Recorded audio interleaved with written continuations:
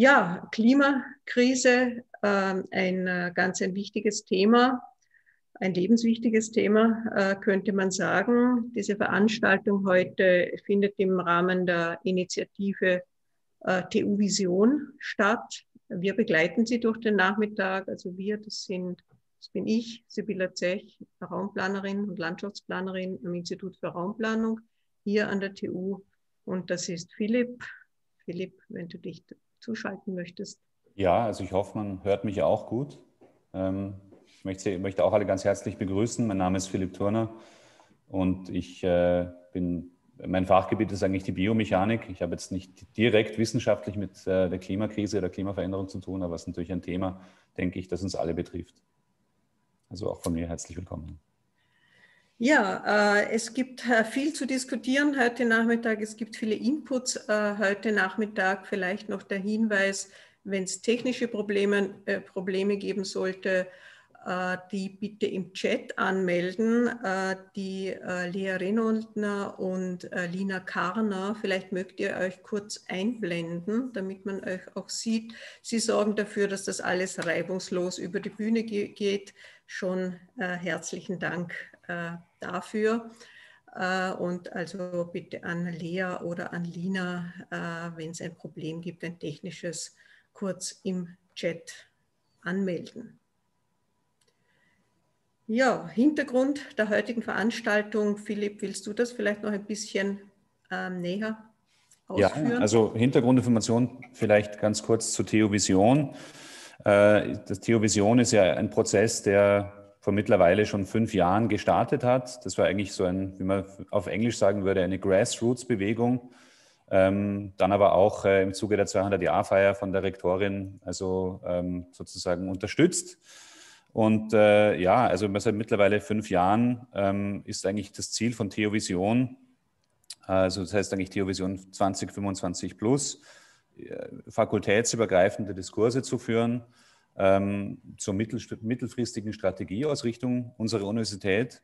Und ähm, ja, mit der aktuellen Phase von Theovision wollen wir eigentlich unsere akademische Kultur an der TU Wien in den nächsten ja, fünf Jahren, zehn Jahren, ich denke, da gibt es keinen Horizont eigentlich wirklich, aber das geht natürlich in die mittelfristige und langfristige Zukunft unserer Institutionen im Blick nehmen und uns auch die Frage stellen, wo und wofür sollen wir als TU stehen und wie wollen wir forschen, studieren und lehren.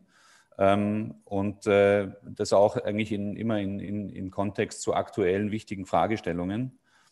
Ähm, also in diesem Sinne ist eigentlich immer wieder geplant, einen, einen regen Austausch zu fördern über unser Selbstverständnis und unsere gesellschaftliche Verantwortung als Wissenschaftlerinnen, äh, wie eben schon gesagt, zu aktuellen Fragestellungen und Fragestellungen. So.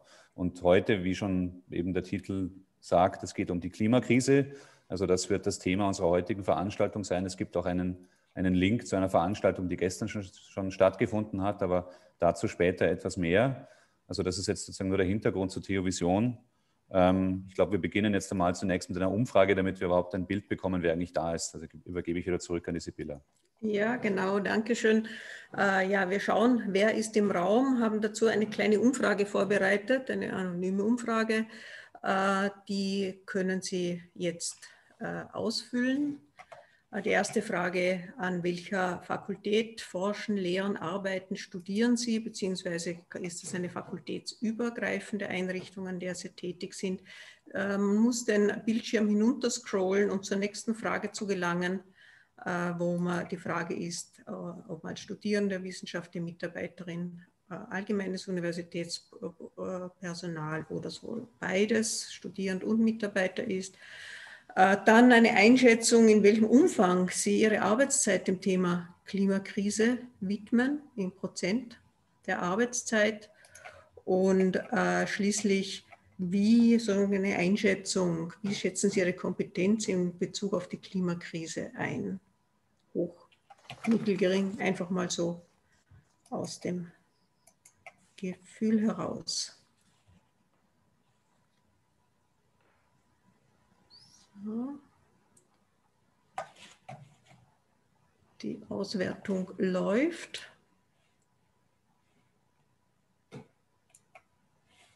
Und äh, sobald alle drinnen sind,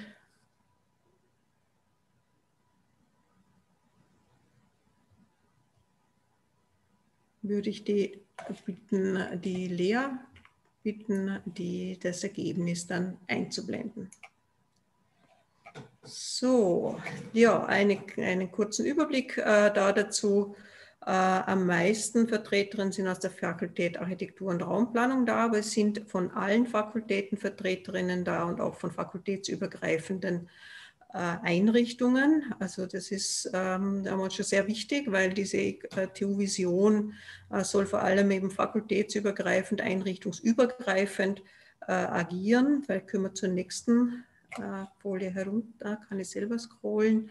Schauen wir das Ergebnis an. Es sind wissenschaftliche Mitarbeiterinnen zu über 40 Prozent da, Studierende, allgemeines Universitätspersonal, ein Teil der ähm, Anwesenden ist sowohl Studierend als auch Mitarbeiterin an der TU. Und die Einschätzung, wie sehr befassen uns wir uns mit dem Thema der Klimakrise zeitlich, ja doch ein großes Thema für äh, viele äh, in der Runde. Äh, zwischen 25 und 50 Prozent, einige auch über 50 Prozent, einige noch nie, aber das ändert sich jetzt ja äh, vielleicht. Und dann gibt es auch diese Einschätzung, die Kompetenz in Bezug auf die Klimakrise, Mittel mit 66 Prozent der Anwesenden. Ja, das wäre mal so ein bisschen ein Eindruck, damit man ein bisschen eine sieht, wer ist so im Raum, in diesem digitalen Raum. Und wir kommen jetzt zum Ablauf, äh, kurze Info zum Ablauf der heutigen Veranstaltung. Da ist, wird, den wird uns Philipp äh, kurz vorstellen, um welche Fragen es geht und wie das vor sich gehen wird. Genau, also wir beginnen, ich habe schon äh, gesagt, vorhin angeführt, es gab gestern schon eine Veranstaltung, da ging es um den, um den digitalen Wandel. Ähm, und natürlich, ja, im Zeitalter des digitalen Wandels, da gibt es natürlich auch einen Konnex zur, zu Klimafragen. Also da gibt's, werden wir zunächst beginnen mit, einem, mit einer Überleitung. Ähm, da wird uns äh, äh, Frau Professor Ivona Brandic ein paar Worte sagen, ähm, die gestern auch an der, an der Veranstaltung beteiligt war. Ähm, dann im anschließend daran werden wir drei Impulsstatements hören von äh, verschiedenen Personen aus, aus, von unserer Universität, also verschiedene, auch verschiedene Herangehensweisen, verschiedene Fragestellungen. Und ähm, die zentralen Fragen, die wir sozusagen äh, also bitten auch äh, bei diesen Impulsstatements in Betracht zu ziehen, ähm, waren eben, äh, die, also die, wenn ich die kurz anführen darf, die Forschung im Bereich der Klimakrise hat konkrete Auswirkungen auf Menschen. Was heißt das für die eigene Verantwortung als Wissenschaftlerin im Umgang mit diesen Forschungsvorhaben und Ergebnissen und wie wird diese Verantwortung wahrgenommen? Und als zweite Frage, also das heißt, die erste Frage geht, dreht sich eigentlich um die Verantwortung des Einzelnen, die zweite Frage um die Verantwortung der TU in Bezug auf die erforschten Ergebnisse wie soll die TU Wien als Institution und damit auch im öffentlichen Diskurs in ihrer Verantwortung umgehen. Ähm, also da gibt es drei Impulsstatements dazu. Das soll uns ein bisschen anheizen, ein bisschen Ideen geben, vielleicht auch ein bisschen kontrovers sein unter Umständen. Da sind wir natürlich sehr gespannt, was unsere, unsere Impulsstatementgeber und Geberinnen da uns ähm, sozusagen mitgeben werden. Danach begeben wir uns in eine Diskussion in kleineren Gruppen wo es auch wieder um diese Fragen geht. Und Aufgabe eigentlich dann in dieser Diskussion ist es sozusagen auch in, in Bezug auf die Impulsstatements, auch in Bezug auf die eigene Forschungsumgebung und, und äh, denke ich auch persönliche Einstellung und Meinung, diese Fragen zu diskutieren. Und dann sollen pro Gruppe eigentlich daraus nur drei Keywords, drei Schlagwörter zurückgemeldet werden. Ähm, die wir dann im dritten Teil in einer Podiumsdiskussion sozusagen wieder aufgreifen werden. Also das heißt, das ist eigentlich der Input dann für den dritten Teil. Äh, es gibt, also keine Angst haben, es wird auch Pausen geben. Also wir haben geplant zumindest, dass wir jetzt einmal nach den Impulsstatements, nach dieser kurzen, nach dieser Diskussion in den Gruppen ähm, ein, ein kurzes, äh, eine kurze Pause einschieben, sozusagen. Äh, Entschuldigung, das habe ich jetzt falsch gesagt. Wir machen nach den Impulsstatements eine Pause, eine kurze Pause, also ein Bio-Break nach den Diskussionen gibt es dann eine etwas längere Pause, ist da eingeplant von 15 Minuten, damit auch die Ergebnisse verarbeitet werden können. Und dann äh, so circa ähm, um 17 Uhr begeben wir uns dann in die Podiumsdiskussion. Also jeder dieser drei Teile, also das heißt, der erste Teil sollte um, um 16 Uhr abgeschlossen sein, der zweite um 17 Uhr und dann um 18 Uhr schließen wir dann die Veranstaltung. So, ich hoffe, ich habe jetzt nichts vergessen. Nein, das ist, glaube ich, alles gesagt. Vielleicht noch der Hinweis, falls Sie irgendwie aus der Sitzung, falls man rausfliegt oder so, man kann sie einfach wieder, ein, wieder einsteigen. Auch während der Breakout-Sessions ist das möglich. Dann werden Sie wieder der Breakout-Session zugeordnet. Also es kann nichts passieren. Und es freut mich sehr zu sehen, dass wir schon an die 60 äh, Leute mittlerweile sind, trotz, trotz Sonnenschein. Also und äh, zu diesem wichtigen Thema. Und damit äh, steigen wir auch gleich ein, anknüpfend an die gestrige Veranstaltung, die zum Thema der digitalen Transformation äh, war. Äh, da hat Ivona Brandic einen, äh, einen Vortrag äh, am Schluss gehalten, der schon so eine erste Brücke zum heutigen Tag äh, gebaut hat. Und äh, sie wird auch bei uns so eine kleine, kurze Keynote in diesem zur zum, Klim zum Klimawandel herstellen, zur Klimakrise. Äh, Ivona Brandic ist äh, Wirtschaftsinformatikerin, Background Universität Wien, TU Wien, lehrt in Melbourne, ist, äh, ist die am häufigsten zitierte europäische Wissenschaftlerin im Bereich des Cloud Computing, der Cloud Computing Systeme, internationale Expertin für, äh, für mich als Planerin ähm, ein, hm, sehr komplex anmutende Systeme äh, für Web and Workflow, Quality, Quality of Service beispielsweise. Sie ist Trägerin zahlreicher einschlägiger Auszeichnungen und Preise und seit 2016 auch Mitglied der Jungen Kurie der Österreichischen Akademie der Wissenschaften. Und sie hat gestern ganz spannende ähm, Erkenntnisse hereingebracht. Also äh, wenn ich mir so ein bisschen mitnehme, so aus dem Vortag, wenn ich mir das recht erinnert, erinnere, unsere IT in, äh, in Österreich, um die zu betreiben, verbrauchen wir die Energie aller, aller unserer Donaukraftwerke, wenn ich das richtig mitgenommen habe.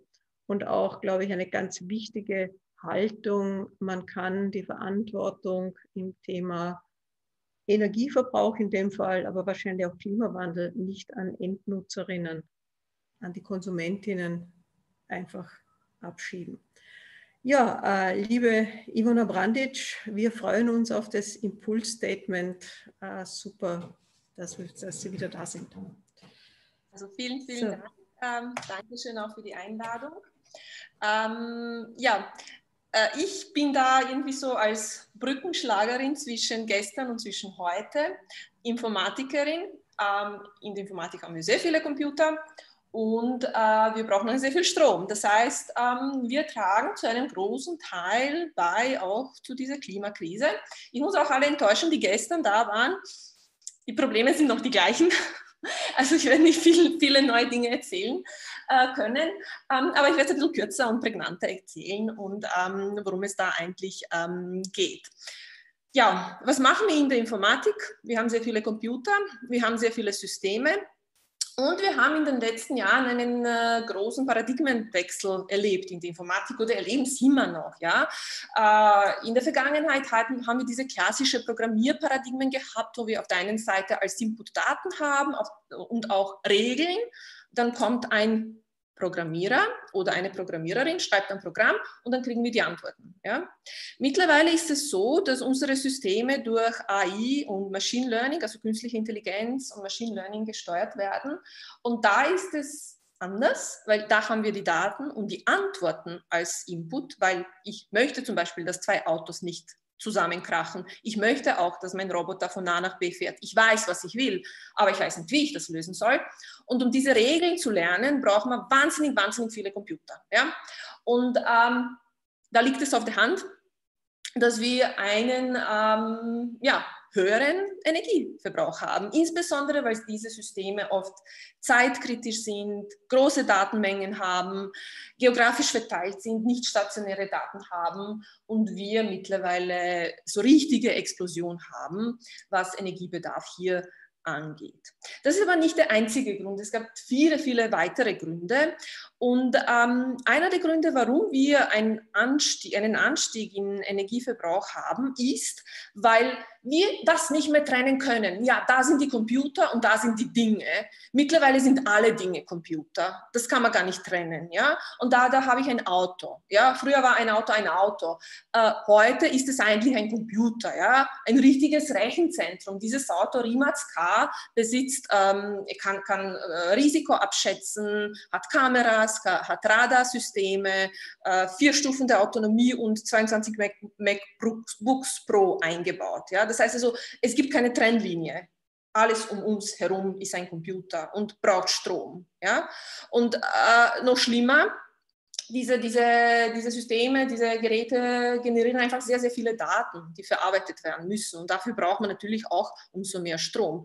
Und um es weiterzuführen, äh, wage ich es zu sagen, dass wir dann auch irgendwann einmal zum Computer werden. Ja? In der, in der Virtual Reality sieht man da hier auch ähm, diese User, die in so einem sehr komplexen Setup äh, sich befinden. Ähm, ja, damit diese Bilder in so einem virtuellen Raum und in diesem Raum kann man zum Beispiel sehr verschiedene Setups setzen. Man kann fünf User haben, die sind alle im gleichen Raum und sie glauben, die sind auf fünf verschiedenen Kontinenten oder die sind in ganz verschiedenen Räumen, ganz verschiedenen Städten und die glauben, die sind alle im gleichen Raum. Also da kann man wahnsinnig tolle Sachen machen ähm, in, im Tourismus, in der Medizin, also Feuerwehr kann äh, Einsätze üben, Militär kann kritische Einsätze üben. Aber damit das funktioniert, tragen sie Laptops Schutz auf ihren Rücken. Das heißt, die Menschen werden auch irgendwie durch Computer unterstützt und es sind mehr Geräte, die brauchen Strom. Und die Problematik, äh, die wir hier haben, ist, dass das immer mehr wird. Und wo das auch ganz deutlich wird, ist ähm, in dieser Publikation in, in Nature auch gezeigt worden.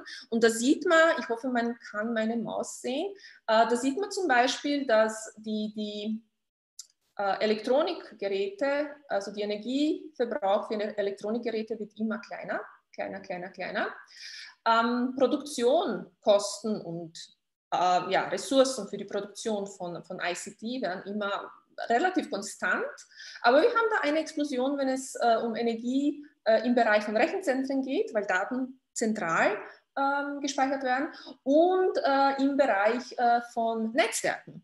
Ja, und wenn wir an heute denken, was machen wir alle hier? Wir sitzen alle hier vor dem Computer. Wie viele Leute sind jetzt da in dieser Sitzung? Glaube ich 60. Das heißt, 60 Computer sind eingeschaltet, brauchen Strom.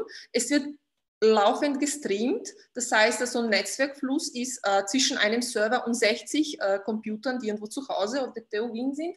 Das heißt, es wird wahnsinnig viel Strom für die Netzwerke gebraucht. Und diese Schätzungen, die da gemacht worden sind, waren 2018 und mit der Covid-Pandemie und allem, was wir machen, ähm, schaut es heute auch ganz anders aus. Das heißt, es ist noch viel schlimmer.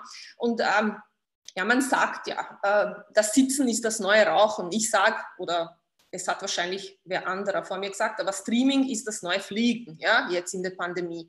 Das heißt also, es ähm, braucht wahnsinnig viele Ressourcen und ähm, für, äh, erzeugt natürlich auch einen CO2-Abdruck, obwohl ähm, wir das in Österreich nicht so richtig spüren oder nicht, nicht wahrhaben wollen, weil wir unsere Energie durchaus aus äh, grüner Quellen erzeugen. Also hier sieht man Energie Erzeugung aus verschiedenen Quellen. Ähm, und äh, da sieht man auch, dass zum Beispiel in Österreich und in Norwegen das durchaus ähm, aus, aus Wasserkraft kommt, beziehungsweise auch Windkraft. Aber wenn man Entwick Entwicklungsländer schaut, zum Beispiel Indien oder Irak oder Sri Lanka, dort sind das fossile Quellen. Also sie haben Erdöl, sie haben Kohle und daraus wird Strom gewonnen. Und ähm, ja, die werden auch ihre Smartphones haben und die werden eben dort aufgeladen aus ähm, ja, nicht grünen Quellen. Und das wird mit der zunehmenden Entwicklung und zunehmender Digitalisierung ein richtiges Problem, weil in diesen Ländern Umweltschutz einfach kein Thema ist. Ja, weil die haben ganz andere essentielle Probleme, ja, in Gesundheit, in ja, Ernährung und so weiter und so fort. Ähm, und warum das auch ein Problem ist, wenn man sagt, ach ja, wir bauen einfach noch weitere, weiß nicht, ähm, äh, Wasserkraftwerke und Windräder, so viel Platz haben wir nicht. Ja? So viel Platz braucht man ähm, und so viele Windräder braucht man, um ein ähm, ja, AKW zu ersetzen. Und die letzte Thematik, die ich hier habe, ist die, also äh, Verlust der, des Vertrauens, die wir in unsere ICT haben, in unsere Systeme. Ja.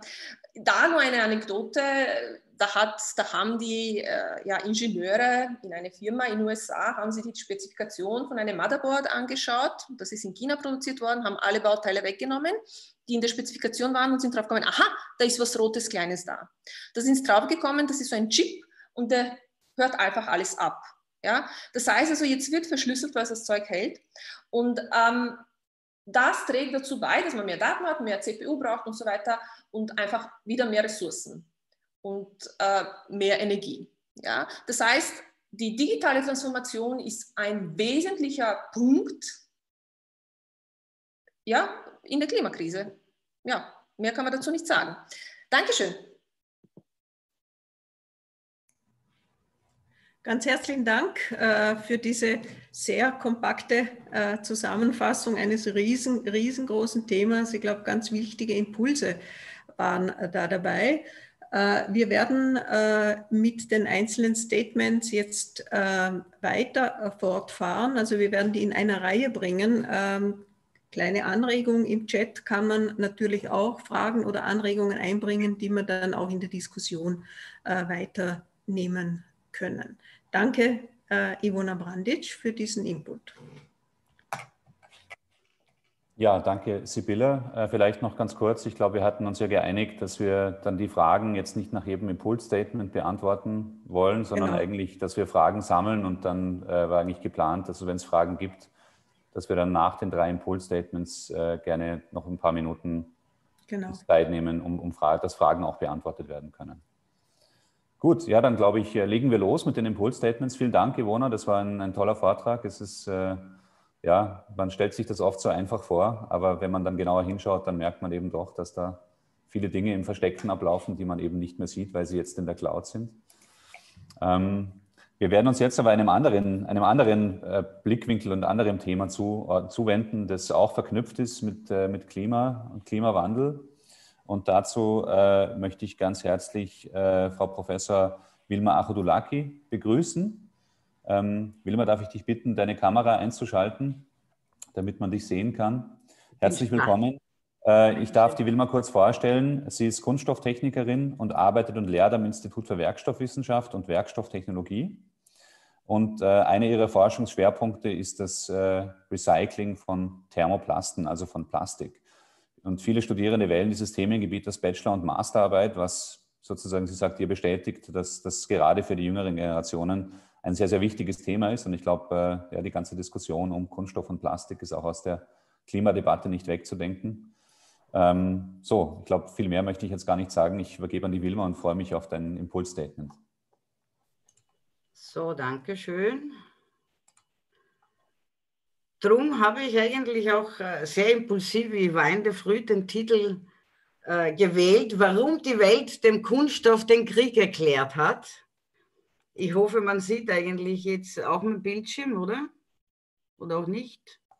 Ist, ist gut okay, zu sehen. Aber ich bin ja. nicht irgendwie nicht in der, in der Präsentationsmodus-Variante, warum auch immer.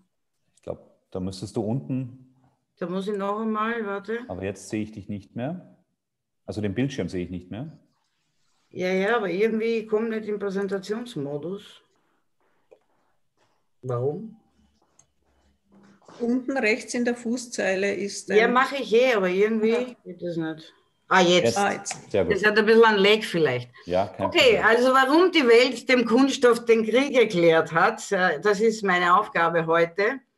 Und dazu muss ich, jetzt muss ich die Geschichte anfangen in den 70er Jahren. Sie sehen da Bilder aus den 70er Jahren wo die Kunststoffe das Nonplusultra war. Plastik ist fantastic, hat man damals gesagt.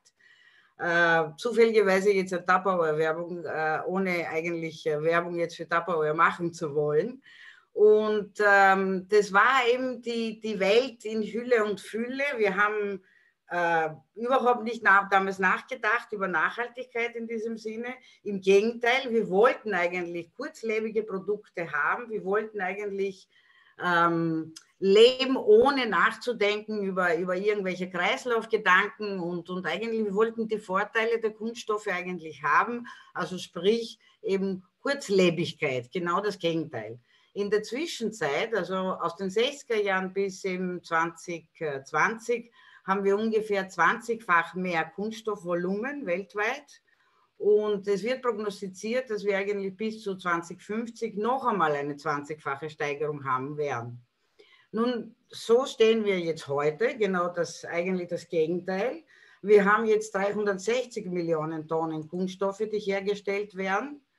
Und ähm, hier ist äh, eigentlich eine wissenschaftliche Publikation aus dem 2017, äh, wo man eigentlich gut sehen kann, wo tatsächlich eigentlich der Müll auch landet von all dem, was wir hier eigentlich produzieren. Und es gibt äh, zehn Flüsse, also der Eintrag eigentlich von, von, von Müll in, dem, äh, in den Meer kommt über Flüsse, also das ist nachgewiesen. Und es gibt zehn Flüsse in dieser Welt, die eigentlich den meisten Mülleintrag bringen. Und von diesen zehn Flüssen, acht sind in äh, Asien und zwei sind in Afrika. Äh, die zwei in Afrika ist Nil und Niger, die andere acht in Asien, tut mir leid, die habe ich nicht gemerkt. Auf jeden Fall ungefähr 4% der weltweiten Produktion äh, verursacht eigentlich eben diese Problematik mit der, mit, der, mit der Vermüllung der Meere. Das ist das Recht, die rechte Seite der Präsentation und die linke Seite der Präsentation ist die Frage, die wir uns jetzt stellen, welchen Eintrag haben tatsächlich, äh, welchen Beitrag haben Kunststoffe wirklich zu, äh, zum CO2-Fußabdruck? Ist es korrekt, was eigentlich in den Medien gegeben wird, dass eigentlich eben Kunststoffe sehr großen Beitrag zu CO2-Emissionen bringen? Und wieso gibt es eigentlich so viele Verpackungen? Das ist es äh, links unten.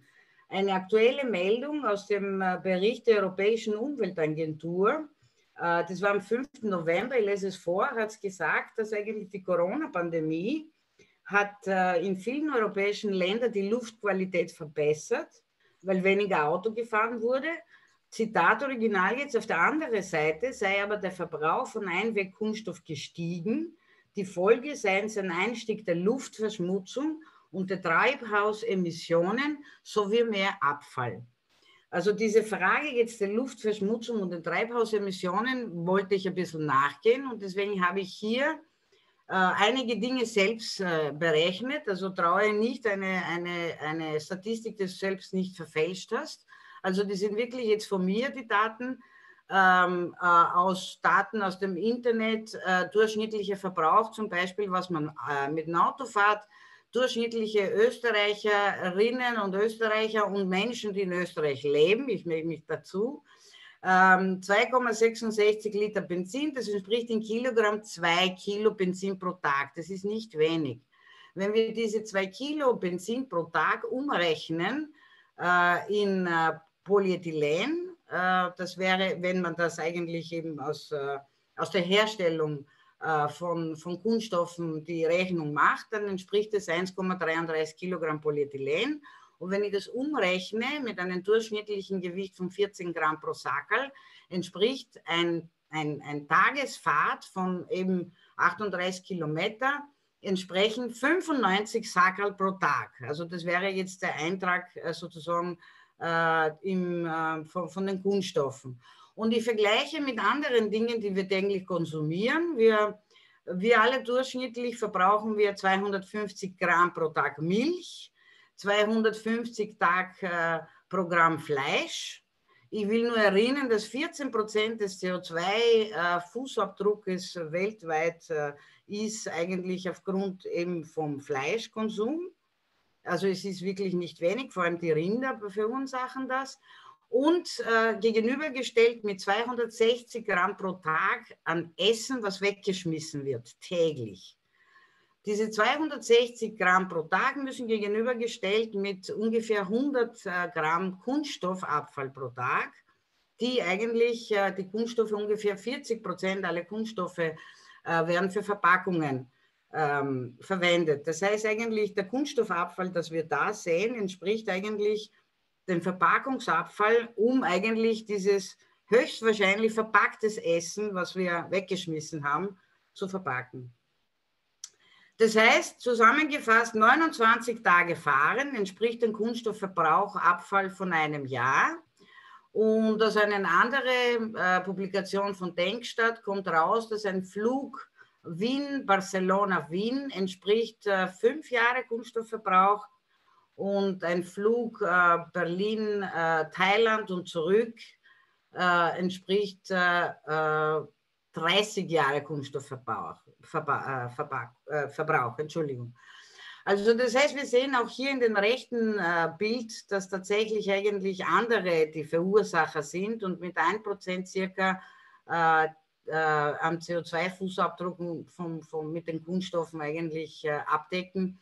Das heißt, wir sollten die Verursacher woanders finden und diese Anmerkung da eben von der Europäischen Umweltagentur, dass die Folge ist der Anstieg der Luftverschmutzung und der Treibhausgasemissionen, will ich jetzt mit diesen Fakten, hoffe ich, äh, widerlegt haben. Äh, wieso haben wir Verpackungen? Das war auch die Frage. Wir, wir brauchen Verpackungen, damit wir eigentlich unser Essen schützen. Und äh, es ist auch umgerechnet worden, dass ungefähr äh, das, das habe ich auch da dargestellt in dieser Präsentation, äh, dass die Nahrung einen viel höheren CO2-Footprint hat als die Verpackung. Ähm, das heißt eben, äh, ob es Fleisch ist oder, oder Düngemittel, müssen auch damit mit berechnet werden. Und ähm, wenn es, ja, und äh, hier in diese Folie sind jetzt äh, verschiedene Publikationen zusammengefasst. Also das auf der einen Seite, um wie viel verlängere ich eigentlich das Leben eine, eines, äh, eines Lebensmittels und um wie viel weniger Abfälle sozusagen auch dadurch äh, verursacht werden. Und Gurke ist das beste, das beste Beispiel. Äh, das wird sehr oft publiziert, das ist das Kramkamper-Paradoxon. Also mit Hilfe einer Folie schaffe ich äh, die, die, eine Gurke von neun Tagen auf 15 Tagen ähm, Lebens, äh, länger, länger im Leben zu halten im Kühlschrank und bis äh, zur Hälfte eigentlich von 10% Abfall auf 4% Abfall zu bringen. Äh, Paprikas eben auch und, und eigentlich am besten ist das Beispiel am Fleisch, also von vier Tagen auf 30 Tagen kann ich eigentlich das Leben äh, vom Fleisch äh, verlängern und deshalb haben wir die, die Verpackungen. Also Verpackungen sind eigentlich nicht als Selbstzweck da, sondern damit wir eigentlich unsere Lebensmittel schützen und, und, äh, und die nicht wegzuschmeißen. Ähm, während am Anfang der Corona-Pandemie, das habe ich selbst fotografiert, es gab dieses Paradox und da diese, diese tätowierte Kurken, die nenne ich, also die sind lasergravierte Kurken, damit man quasi keinen Kunststoff verwendet. Ich hoffe, man sieht eigentlich diese, diese Tätowierung hier in dem Bild. Ähm, ich muss ehrlich gestehen, also da, da muss ich schon sagen, das ist ein Schwachsinn, ja.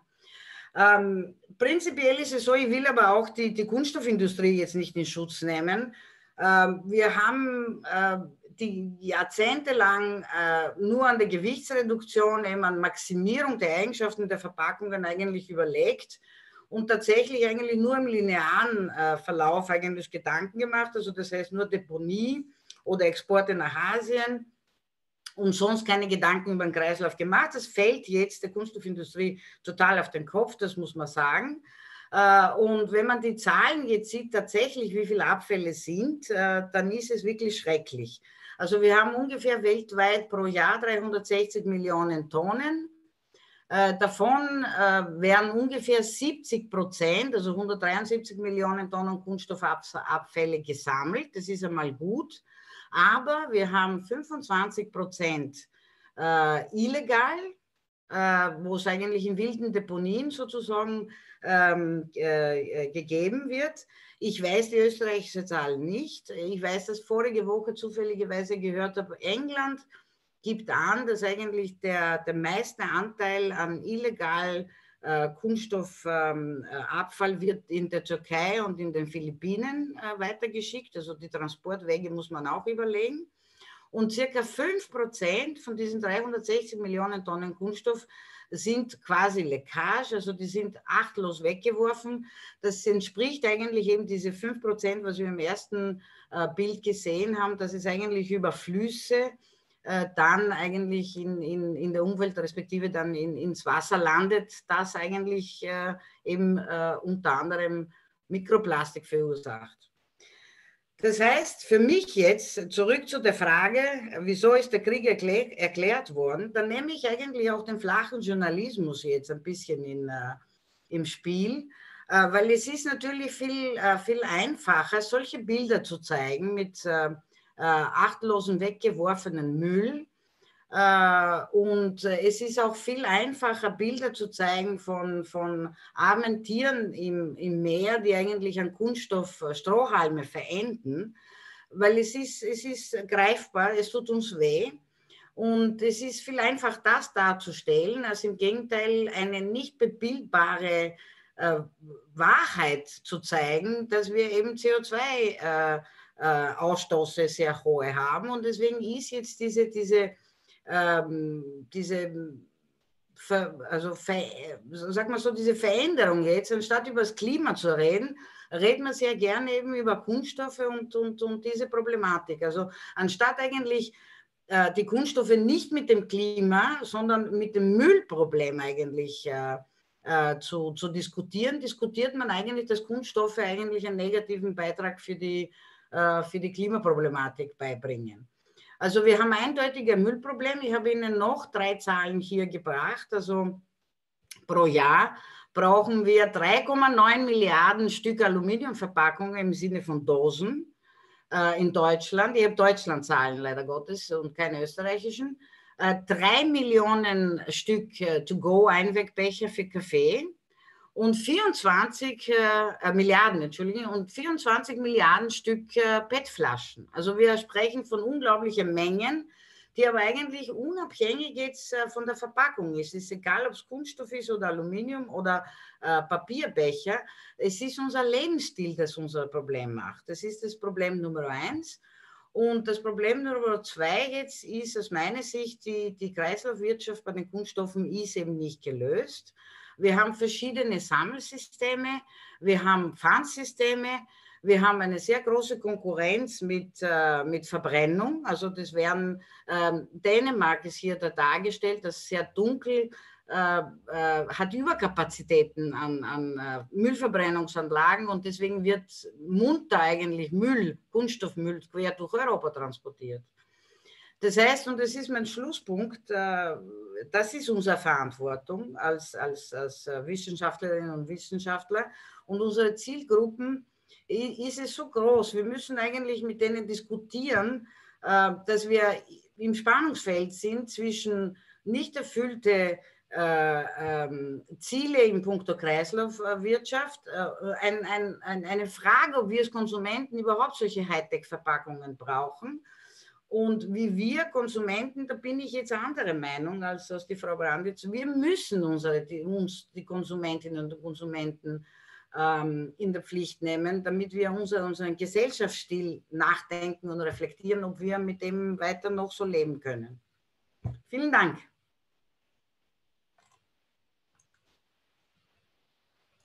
Ja, vielen Dank, Wilma. Äh, sehr spannend. Ich glaube, das ist auch äh, durchaus provokativ.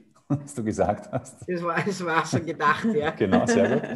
Äh, ja, wunderbar. Ähm, dann äh, übergebe ich gleich, gleich an die Sibylla und wir, wir folgen gleich mit dem zweiten Impulsstatement.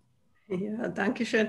Man hat auch schon gesehen im, im Chat, es hat auch schon viele angeregt, Fragen äh, hereinzubringen. Vielleicht können wir die dann auch noch kurz ansprechen nachher. Ja, jetzt äh, begrüße ich ganz herzlich Amela Ajanovic und bitte den Screen einzuschalten, den Bildschirm einzuschalten. Äh, herzlich willkommen. Amela Aljanovic ist Assistenzprofessorin und Privatdozentin am Institut für Energiesysteme und elektrische Antriebe der TU, Wien, also wieder ganz ein anderer äh, Fachbereich, aber man hat schon Querbezüge bei den bisherigen Referentinnen gehört. Sie hat an der TU Wien Elektrotechnik studiert, im Fachgebiet Energiewirtschaft äh, promoviert, Forschungsschwerpunkt in den letzten zehn Jahren Energiewirtschaft im Verkehr alternative Kraftstoffe, Antriebe, vor allem Elektromobilität, Wasserstoff, energiepolitische Strategien und Umweltaspekte im Verkehrsbereich und eben auch langfristige Szenarien äh, in Richtung nachhaltiger Transportsysteme. Bitte um das Impulsstatement. Dankeschön. Es freut mich sehr, an dieser Veranstaltung teilnehmen zu dürfen. Wie Sie gesagt haben, arbeite ich am Institut für Energie, Energiesysteme und elektrische Antriebe in der Energy Economies Group. Und die Umweltaspekte der Energienutzung sind fast immer direkt oder indirekt Teil unserer Forschung. Wir beschäftigen uns mit äh, verschiedene energiewirtschaftlichen und energiepolitischen Fragestellungen entlang der gesamten Energieversorgungskette von Primärenergie bis zu verschiedenen Energiedienstleitungen. Mein Forschungsschwerpunkt ist Verkehr. Im Fokus meiner wissenschaftlichen Arbeit steht die energetische, ökonomische und ökologische Bewertung nachhaltiger Antriebstechnologien und alternative Energieträger. Aber blicken wir zuerst kurz zurück. Über Tausende von Jahren basierte die menschliche Mobilität und der Transport von Gütern ausschließlich auf erneuerbare, nicht kommerzielle Energie. Von zentraler Bedeutung für die Entwicklung des Handels war die Windkraft für Segelschiffe. Erst vor etwa 2000, 200 Jahren leitet der Erfindung der Dampfmaschine die auf fossile Energie basierende Mobilität ein und daran hat sich bis heute nicht sehr viel geändert. Weltweit ist immer noch mehr als 90 Prozent des Transports vor allem von Erdöl abhängig. Leider durch die Verbrennung fossiler Energieträger, vor allem im Transportsektor, würde der Klimawandel in den letzten Jahrzehnten sehr beschleunigt. Der Verkehr produziert etwa ein Viertel aller energiebedingten CO2-Emissionen. Die meisten davon entstehen im Straßenverkehr und steigen viel schneller als in anderen Sektoren. Nach dem derzeitigen Trend werden die Emissionen weiter stark steigen. Und um eine solche Entwicklung zu verhindern, ist eine globale Dekarbonisierung des Transportsektor notwendig. Im Grunde genommen, innovative Forschung im Bereich der Fahrzeugtechnologien kann zur Reduktion von Treibhausgasen beitragen.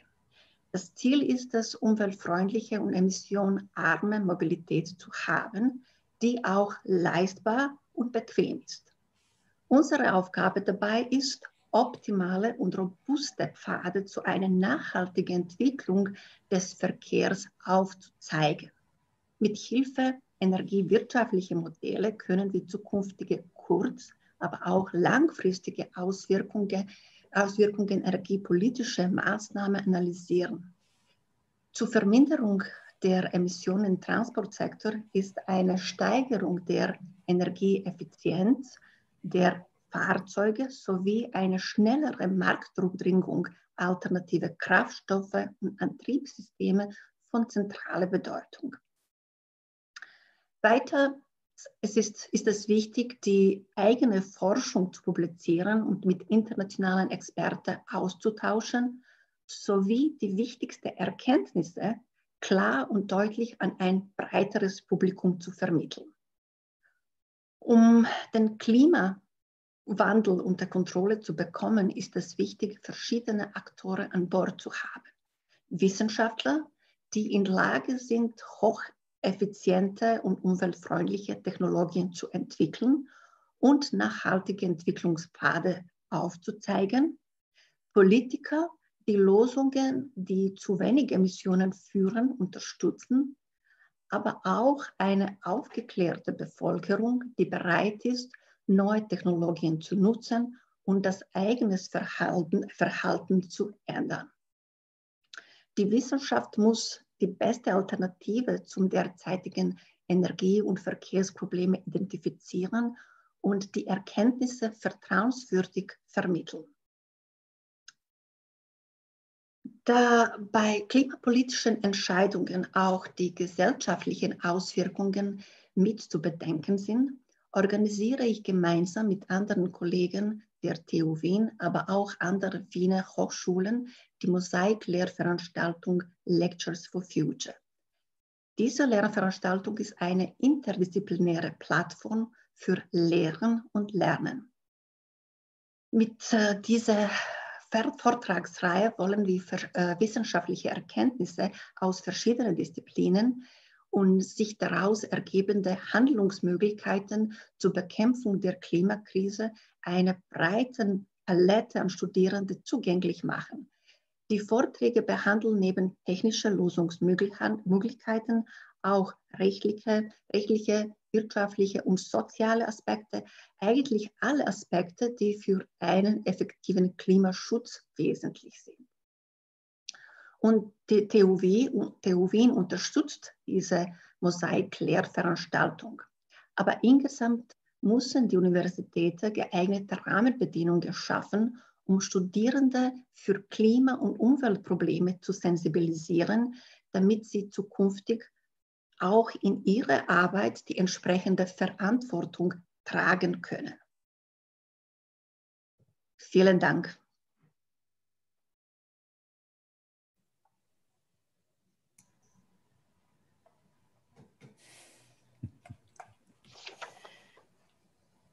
Herzlichen Dank äh, für diesen äh, Impuls auch äh, aus dem Bereich der Verkehrswissenschaft. Ein ganz ein wichtiger ja, Anteilhaber die, der Verkehr am, an der CO2-Emission, äh, Klimawandel und Mobilität.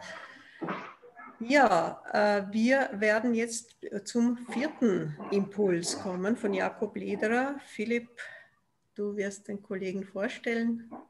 Ja, genau. Also wir kommen, also ich glaube, das ist das dritte Impulsstatement, wenn man jetzt sozusagen ja. die Einleitung als Überleitung betrachtet, aber ähm, also auf jeden Fall unser vierter Vortrag heute.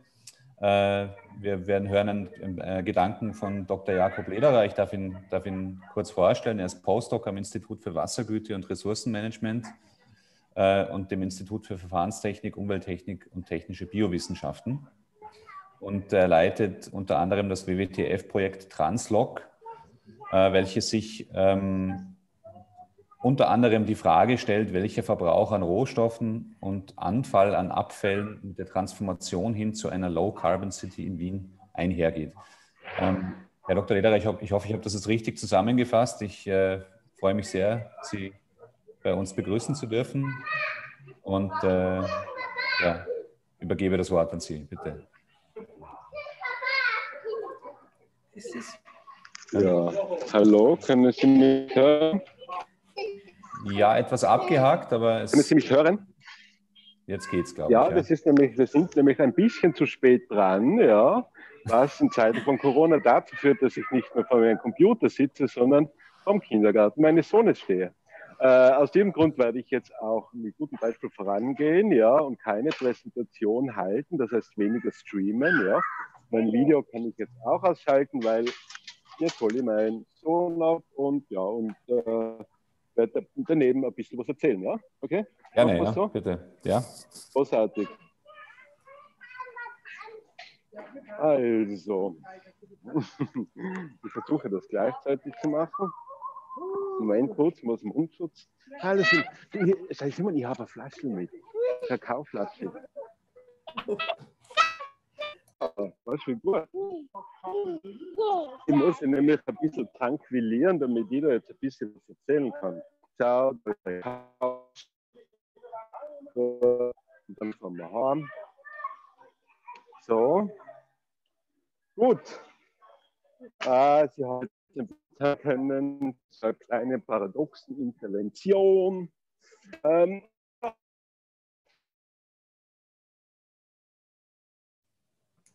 Jetzt. Ich bin eigentlich Bauingenieur und ähm, nachhaltiges Bauen und Abfälle aus dem Bauwesen, Ressourcenverbrauch im Bauwesen und weniger mit dieser ganzen Energiefrage und Treibhausgasemissionen, die jetzt im Betrieb eines Gebäudes entstehen. Das ist aber das riesengroße Thema und Städte wie Wien haben deswegen auch die Smart City Rahmenstrategie äh, ins Leben gerufen, ja? was eine verbindliche Ziele sind, wie, welche Mengen an Treibhausgasemissionen reduziert werden sollen in Wien in den nächsten Jahren bis 2050. Ja? Gut, ähm, das geht relativ einfach. Ich kann zum Beispiel hergehen und kann die ganzen alten Gebäude, die schlecht wärmegedämmt sind, kann ich abreißen, überall irgendwelche neuen Passivhäuser hinstellen. Damit reduziere ich meinen Energieverbrauch massiv. Ähm, die Wiener waren aber gescheit, weil die haben nachher gesehen, so geht das auch nicht. Ja? Und da brauchen wir Unmengen an Ressourcen dafür. Und deswegen haben sie zusätzlich zur Reduktion des, der Treibhausgasemissionen auch sich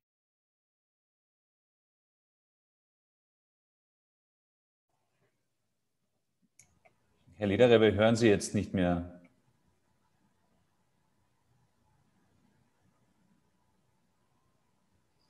Äh, Energieverbrauch. Äh, gibt es da aber nicht wirklich eine Vorstellung, einerseits wie hoch heute der Ressourcenverbrauch ist, ja, in Wien, und andererseits, wie man den überhaupt reduzieren kann und auf welche Menge. Ja. Und das ist dann etwas, wo ich auch die Verantwortung für uns als Wissenschaftler und Wissenschaftlerinnen sehe. Herr Lederer, darf, ich Sie, darf ich Sie ganz kurz unterbrechen? Wir haben jetzt ganz, wir ja. haben jetzt, äh, circa 20 Sekunden, glaube ich, nichts gehört.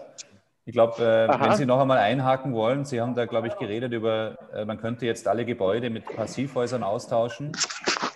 Ja. Ähm, aber, die aber die Stadt Wien hat sich was anderes überlegt, weil das zu viele Ressourcen verbraucht. Vielleicht könnten Sie da noch einmal einhaken. Genau, es ist das Wien nicht nur Treibhausgasemissionen verbrauchen, sondern auch äh, den Verbrauchern, äh, also Treibhausgasemissionen reduzieren, sondern auch den Verbrauchern neue Rohstoffe und Materialien. Ja? Mhm. Und äh, da gibt es aber, ja, da gibt es aber sehr wenige Informationen darüber, wie hoch der Ressourcenverbrauch heute ist, ja, und wie hoch er äh, und wie er reduziert werden kann auf diese Zielsetzung von minus 50 Prozent materiellen Ressourcenverbrauch. Ja. Und da sehe ich dann die Verantwortung als Wissenschaftler, habe ich für mich gesehen, naja, wenn es diese Information noch nicht gibt, ja, dann machen wir halt ein Forschungsprojekt und dann rechnen wir sie halt. Ja. Und das Ergebnis ist jetzt klar. Wir verbrauchen sehr viele Ressourcen pro Einwohner und den Großteil verbrauchen wir im Bausektor für Gebäude und Infrastruktur, U-Bahnen, Straßen und dergleichen. Ja. Aber viel mehr für Gebäude. Gut, ähm, das wissen wir jetzt mal. Das Zweite, was wir jetzt wissen, und das ist halt etwas, wo ich ein bisschen anecke, mit welchen Maßnahmen können wir diesen Ressourcenverbrauch äh, reduzieren? Und im Endeffekt habe ich mir das angeschaut im Gebäudebereich und da gibt es jetzt nicht so viele Möglichkeiten. Äh, Wiederverwendung, und das hören viele nicht gerne, spielt eine ganz kleine Rolle. Wiederverwendung von Bauteilen. Recycling spielt eine größere Rolle, aber wird das auch allein nicht schaffen, ja. Das Wichtigste ist, dass wir alte Gebäude nicht abbrechen. Und das ist jetzt meine zweite Message. Das haben viele nicht gerne gehört, die, die gerne wiederverwenden und die, die gerne Gebäude abbrechen, die hören das alle nicht so gern, ja. Und das ist halt die zweite Verantwortung, dass man den Entscheidungsträgern, den Stakeholdern in Unternehmen auch so Dinge sagt, die sie ja nicht so gern hören, ja. Dadurch wird man nicht populär, aber ich glaube, es ist gescheiter, man sagt den Leuten die Wahrheit, als man sagt ihnen dann ein Jahr, bevor es zu spät ist, tut mir leid, jetzt wird das Ziel einfach nicht erreichen. Gut, und äh, damit schließe ich jetzt. Ja, besten Dank, Herr Lederer, für diesen äh, Impuls Gerne. wirklich draußen, von draußen herein. The, the, greenest brick is the one in the wall, nehme ich da sozusagen. Äh, da ein bisschen. Ja, green mit. ist bei uns gar nichts. Green ist gar nichts, der, aber der, der, der, der gebaute Ziegel sozusagen. Nicht? Und eben auch, wie geht man im Neubau dann gut ja. damit um. Ja, ganz herzlichen Dank. Ich weiß nicht, ob Sie dann noch, noch drinnen bleiben können oder jetzt äh, ihren, da Sie mit den Kindern unterwegs sein werden. Aber vielleicht hören wir uns noch im Laufe des Nachmittags wieder. Danke mal. Ja, äh, jetzt hatten wir vier Impulse aus ganz, äh, einen, ein, ein, äh, eine Überleitung vom gestrigen Tag, drei Impulse aus ganz unterschiedlichen Perspektiven. Äh, im, äh, wir, Im Chat ist es auch schon recht lebendig äh, zugegangen, war schon ziemlich viel los und ein, die Referentinnen haben sich da zum Teil auch schon mit eingeschaltet. Äh, vielleicht können wir, Philipp, wie siehst du das, können wir noch ein paar Fragen da aus dem Chat mit hereinholen und ein kurzes Feedback. Geht sich das noch aus? Denke ich schon. Ich glaube, wir liegen, wir liegen ganz gut, gell? noch gut in der Zeit. Also ich denke, ein oder mhm. zwei Fragen könnten wir sicher, könnten wir sicher aufgreifen. Dann genau. Jetzt einfach äh, weiß ich nicht, magst du eine auswählen? Will naja, aus? Wir machen das ja, oder, oder, wie soll man es machen? Vielleicht fange jetzt mal an. Äh, da war ja. eine Frage, weil ein Teil ist schon im Chat beantwortet worden, aber mhm. äh, zum Thema der Informationstechnologien und deren Energieverbrauch äh, war die Frage, ob nicht die Informationstechnologien dann eben andere Verbraucher, andere Verbräuche substituieren, also zum Beispiel die Luftfahrt. Mhm. Also dass das weniger Flüge sind und so. Ähm, Gibt es dazu äh, Forschungsergebnisse oder ist das? ja, das, das ist eine schon sehr interessante Frage, weil es mhm. wieder geflogen, es werden aber mehr Konferenzen äh, gemacht, Telekonferenzen. Ähm, es ist ich habe jetzt auch ein paar Papers gelesen. Es ist, ja, in Österreich versucht man irgendwie Auer zu konservieren. Es wird sich aber ändern. Die Leute werden in der Zukunft weniger fliegen, weil sie einfach drauf kommen, naja, das ist eigentlich eh gemütlich, was wir hier machen. Ich muss jetzt nicht für alles hin und her fliegen. Ähm, also so diese Langzeitstudien gibt es im Moment nicht. Also ich wüsste nicht von welche. Ja? Mhm. Also bin ja. aber gern da, wenn jemand von der TU Wien das äh, aus dem Bereich äh, der Luftfahrt oder sonst, wenn da qua äh, quantitative Werte irgendwo sind, bin gern dabei, das zu mhm. untersuchen. Ja, na, wäre sicher spannend auch. Ja. Äh, in der Raumplanung hatten wir immer gedacht, wenn man den, also um das Pendleraufkommen zu reduzieren, dass man Autobahnen in den peripheren Regionen äh, bauen müsste. Tatsächlich sind noch mehr Leute mit dem Auto gefahren und das mit dem Teleworking hat sich schon seit den 80er Jahren sozusagen nicht so wirklich äh, realisiert. Vielleicht ist auch ein Thema der Rebound-Effekte. Ja. Äh, das, ähm, das gehört natürlich wissenschaftlich untersucht, auch hm. quantitativ ich habe im Moment keine Zahlen. Keiner kann, kann auch sagen, ähm, ja, okay, weniger fliegen, aber dafür mehr Telekonferenzen, aber dafür sind auch andere Formen von Streaming gekommen. Man schaut halt viel Netflix, man telefoniert sehr viel online. Äh, also meine Tochter kommuniziert schon mit ihren Kindergartenfreunden, die haben schon eigene Sessions. Das machen ja, also ähm, ja, wir sind noch am Anfang. Okay, danke schön. Wer weiß, wie sich das noch entwickelt. Philipp, was ist dir für eine, für eine Frage oder Fragenkomplex? Ja, also ich äh, finde, äh, also was ich ganz interessant finde, ähm, das, das spielt jetzt wahrscheinlich in, in viele von diesen Impulsstatements hinein, das ist auch eine Frage, die im Chat aufgekommen ist, die ich sehr spannend finde, ähm, ist eigentlich, äh, also da hat, war ein Beitrag, da hat es geheißen, wir sind eigentlich bei einem wichtigen Thema, die Überinnovation. Das heißt, was ist eigentlich mit den Sachen, die wir schon haben, was ist auch mit der, mit der Wartung von neuen Dingen? Also ist neuer immer besser? Oder halt, wie der Herr Lederer auch gesagt hat, eigentlich heißt das, man sollte alte Gebäude nicht abbrechen. Das kann man wahrscheinlich auf viele Dinge ähm, umlegen, die man, die man äh, sozusagen in unserer Umwelt halt vorfindet. Ich weiß nicht, wer da jetzt, also das, das geht jetzt in alle Bereiche hinein. Ich glaube, der Herr Lederer wäre da vielleicht eigentlich der beste Ansprechpartner. Aber natürlich kann jeder dazu äh, das Wort ergreifen von den, von den Impulsgebern und Geberinnen.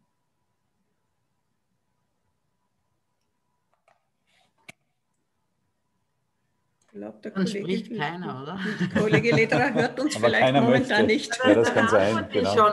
Also es ist, es ich höre jetzt die schon. Also Sie hören uns, sehr wunderbar. Soll ich jetzt was sagen oder nicht? So, ja, Sie, ja, gerne, bitte, bitte, bitte darum, ja. Okay, was war denn nochmal konkret jetzt die Frage? Naja, es war eigentlich auf, auf, den Aspekt, auf den Sie auch hingewiesen haben. Also man sollte alte Gebäude nicht abbrechen. Ja. Ähm, ich ja. meine, das kann man ja auf, auf, viele Aspekte in unserer Gesellschaft und in unserem Konsumverhalten ja. umlegen meine, vielleicht äh, können Sie da noch ein bisschen weiter ausführen. Ja, ja, vor allem, da muss man auch ein, ähm, ein bisschen differenzieren, ja. Weil ein Gebäude ist halt was anderes, ja, wie ein Handy oder wie ein, ein T-Shirt oder irgend sowas, ja. Und grundsätzlich ist es schon so, dass bei den meisten Dingen eine Verlängerung der Lebensdauer eigentlich äh, ökologische Vorteile bringt, ja. Ähm, es ist aber so, dass äh, bei Gebäuden ist das halt ganz massiv. Einfach deswegen, weil ein Gebäude steht meistens schon sehr lange und ein Gebäude ist halt ähm, ja, mit einem unglaublichen Ressourcenbedarf verbunden, wenn man nichts neu errichte. Auch mit Treibhausgasemissionen. Schauen Sie sich an, woraus die Gebäude gebaut werden. Das ist Stahlbeton und Stahlbeton hat einen sehr hohen CO2-Output. Ja. Und äh, ja, Textilien auch. Das ist auch total wichtig, die länger zu tragen. Ja. Ein Argument immer dagegen ist dieses Ökonomische. ja, wenn wir nichts mehr neu produzieren, dann verlieren halt die Leute Jobs. Ähm, ich bin jetzt kein Ökonom und schaue jetzt die Ökonominnen und Ökonomen da in der Runde, ob die da vielleicht ein bisschen was dazu wissen äh, oder vielleicht meine Hypothese da jetzt ein bisschen widerlegen. Aber ich würde jetzt mal behaupten, ja, dass wenn ich jetzt hergehe und äh, Gebäude halt nicht äh, abreiße und neu baue, sondern halt laufend auf neuesten Stand halte und gut saniere, dass ich dann mal mindestens gleich viele Jobs schaffe und äh, mindestens gleich viel Wertschöpfung, als wie wenn ich es eben abreiße und neu baue. Ja. Worden genau, vielleicht kann das jemand beantworten. Ich, ja, also ich kann mir es gut vorstellen, dass es in diese Richtung gehen könnte. Ja. Mhm. ja. Ich glaube, jetzt der Wilma hat sich auch dazu äh, einbringen wollen. Ich, ich, ich, wollte, bevor es eine peinliche Pause ist, auch sagen. aber prinzipiell, äh, also es ist, also die, die, Grundsätze sind Reduce, Reuse und dann Recycle. Also daran glaube ich. Also man sollte eigentlich prinzipiell äh, versuchen, etwas zu reparieren, aber es ist auch im, im Zuge der, der WE, also der Elektronik, äh, Recycling-Problematik auch aufgetaucht. Und es ist so, das Reparieren von einer alten Waschmaschine ist um einiges teurer als eine neue zu kaufen. Auch aufgrund dieses Abholen, wieder zurück und dann wieder reparieren und so weiter und so fort. Ja, also das ist eben leider Gottes eben die Problematik, dass es in einem Jahr die Waschmaschine viel, viel besser ist oder jede Kaffeemaschine bald kann fliegen. Ja, und deswegen wird sie auch nicht repariert. Also wir sind äh, mit Elektronik, ähm, äh, das ist ein Riesenproblem. Das ist ein Riesenproblem. Da muss ich ja ganz, Entschuldigung, wenn ich kurz einhake, aber äh, muss eine Kaffeemaschine fliegen können? Na, das habe ich ja genau ironisch also, gemeint. Das war ja genau mein Eintrag. Ja. Genau das ist das. Ja. Weil in meiner Kaffeemaschine genau, macht immer noch einen Kaffee, ja. Aber, aber, ja, ja. schauen Sie, wie die alle mit, mit Handys umgehen. Ich war mal bei, eine, bei einem Recyclingunternehmer nach diesen, ähm, die machen diese Weihnachtsaktion vom Ö3, dass die Handys sammeln. Und da war ich knapp nach ja. Weihnachten, war ich beim, bei diesem Recycler, diese Telefone, das war ein Riesenberg in einem Raum und alle Handys dort, die waren neu als meines, ja, die eigentlich in, der, in diese Ö3-Tüte waren. Und dann auch noch dazu, es hat geklingelt.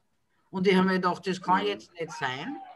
Der Betreiber von diesem Recycler hat zu mir gesagt, ja, ja, viele schicken, geben sie es einfach mit, mit, äh, mit SIM-Karten rein.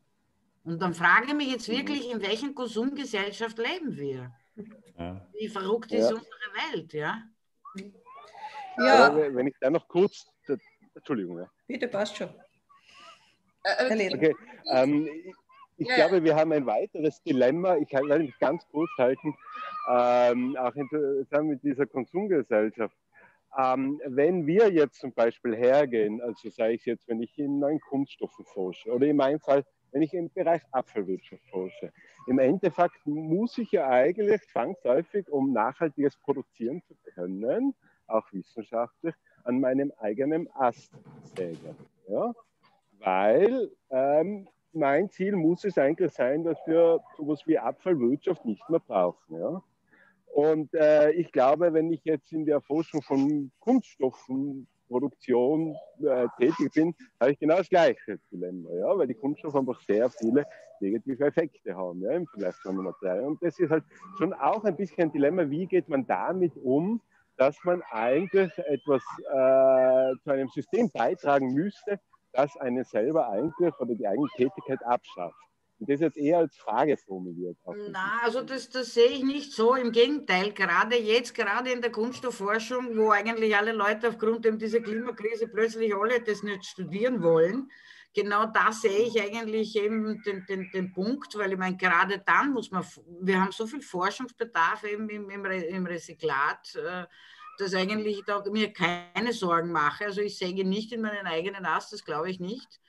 Ähm, und und äh, Kunststoffe ist, ist nicht nur Verpackung, also es gibt andere Dinge. Also da mache ich mir ehrlich gesagt nicht Sorgen. Und, und äh, ganz ehrlich, wenn wir Probleme lösen, dann sollten wir auch mit, äh, im Krieg muss man mit, mit, mit Opfer rechnen. Also da habe ich auch kein Problem damit. Also wenn ich zu Opfer falle, das sollte dann auch sein. Aber wie gesagt, ich glaube nicht, dass das passiert. Es ist eine wichtige Frage, die aufgeworfen wurde. Äh, nämlich eigentlich geht es darum, was heißt das für die wissenschaftliche Praxis, wenn wir die Fragen stellen, die mit der Klimakrise zu tun haben. Was heißt das für uns in der wissenschaftlichen Praxis und was heißt das für eine TU und wie geht man damit um? Also das ist genau, sind wir eigentlich genau beim Thema äh, des heutigen Tages. Und vielleicht zum Abschluss jetzt von dieser Session äh, darf ich vielleicht noch äh, Kollegin Ajanovic bitten, äh, ein bisschen zu teilen, was geht ihr durch den Kopf jetzt an, mit diesen Diskussionen und dann zum Schluss vielleicht nochmal Ivona Brandic. Ja. Das ist leider, wir, wir leben in einer Konsum-Wegwerfgesellschaft und es ist so. Wie ich gesagt habe vorher, unsere Verantwortung als Wissenschaftler ist wirklich zu schauen, welche Lösungen haben wir, aber auch aus einer Gesamt, Gesamt, äh, äh gesellschaftlichen äh, Sicht komplett alles zu schauen. Und äh, was wichtig ist, ist eigentlich, dass Universitäten uns Rahmenbedingungen geben dafür, dass wir Studierende schon Studierende sensibilisieren können. Weil es ist viel leichter bei Studierenden, diese Verhalten zu ändern, als mit, bei Erwachsenen und älteren Personen. Mhm, danke. Ivona Brandic. Ähm, was ich hier äh, als einen wichtigen Punkt sehe, ähm, also es gibt viele Krisen, ja, äh, Welt hat viele Krisen. Ähm, oft sind die Krisen, äh, werden bekämpft im Rahmen von einem Land.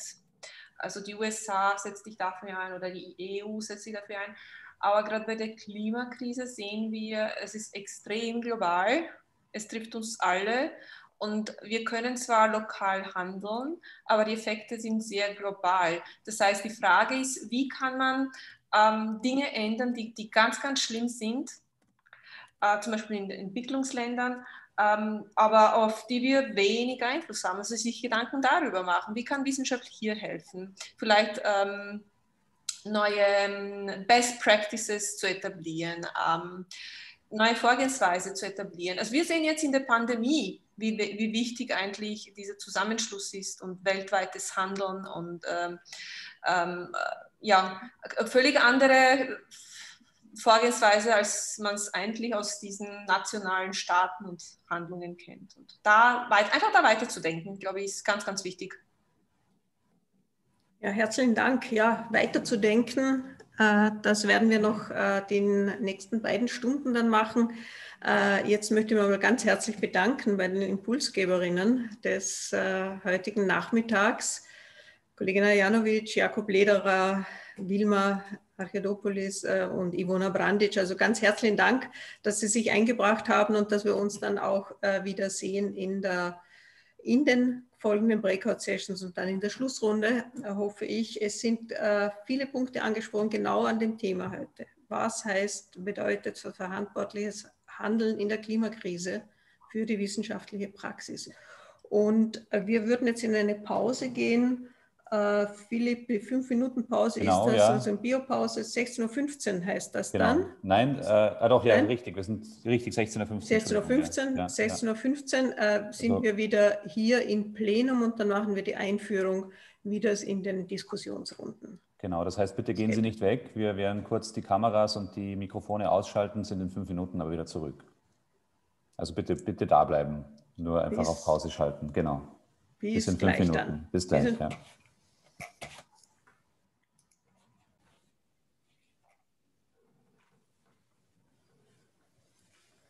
So, wir sind zurück. So, hoffentlich wieder alle gut im virtuellen Raum äh, angekommen. Äh, wir starten jetzt in den, in, die zweiten, in den zweiten Block des heutigen Nachmittags in die Diskussion in Kleingruppen zu dem Thema, zu den beiden Fragen, die äh, hier noch einmal eingeblendet worden sind.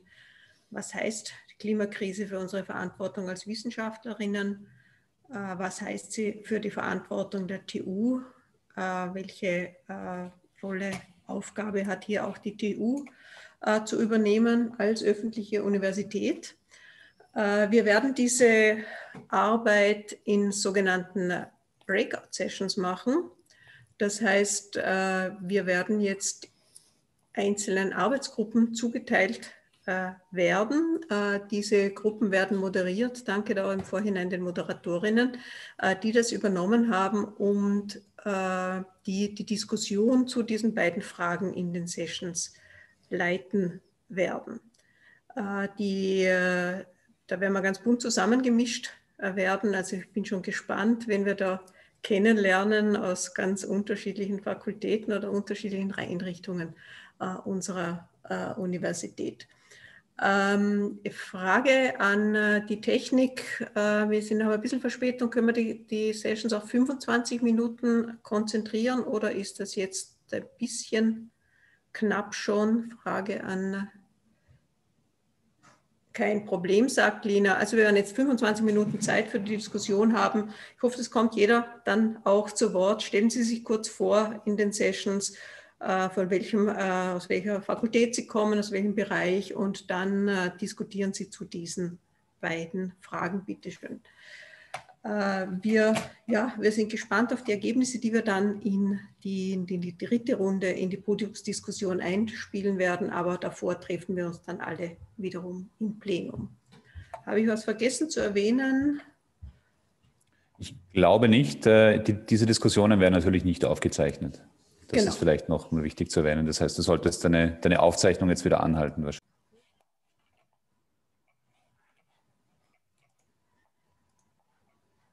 Ja, die Teilnehmerinnen kehren aus den Breakout-Sessions äh, zurück.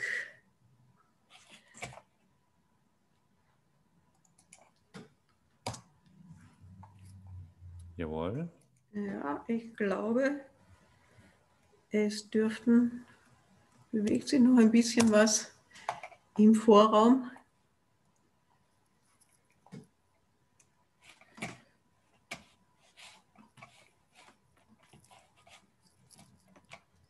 So, ja, also herzlich willkommen zurück aus den Breakout-Sessions. Ich weiß nicht, wie es Ihnen gegangen ist. Die Zeit ist schnell kurz geworden, auch wenn man in der kleinen Runde diskutiert, äh, wenn man die Themen aufgreift. Äh, wir werden diese Themen, die jetzt angesprochen worden sind, jetzt noch kurz sammeln von der Moderationsseite her. Äh, das große Plenum hat jetzt ein bisschen Pause wir machen Pause bis, Philipp, hast du auf die Uhr geschaut, 16 Uhr? Wir liegen gut in der Zeit. Also ich glaube, wir machen weiter um 17 Uhr. 17 äh, Uhr pünktlich, wie geplant. Ja? Mhm, wie das geplant, sehr gut. Wunderbar, ja. Also ich glaube, mhm. die Diskussionen waren sehr, sehr rege. Ich kann dem nur zustimmen. Also die Zeit vergeht irrsinnig schnell. Ähm, ja, 15 Minuten Pause und dann kehren wir zurück. Genau, wie immer am besten die Kamera einschalten, äh, ausschalten und den, den, Ton ausschalten, aber sonst in der Session bleiben, nicht aussteigen, wieder einsteigen, sondern dabei bleiben. Wir sehen uns in Kürze. Wunderbar.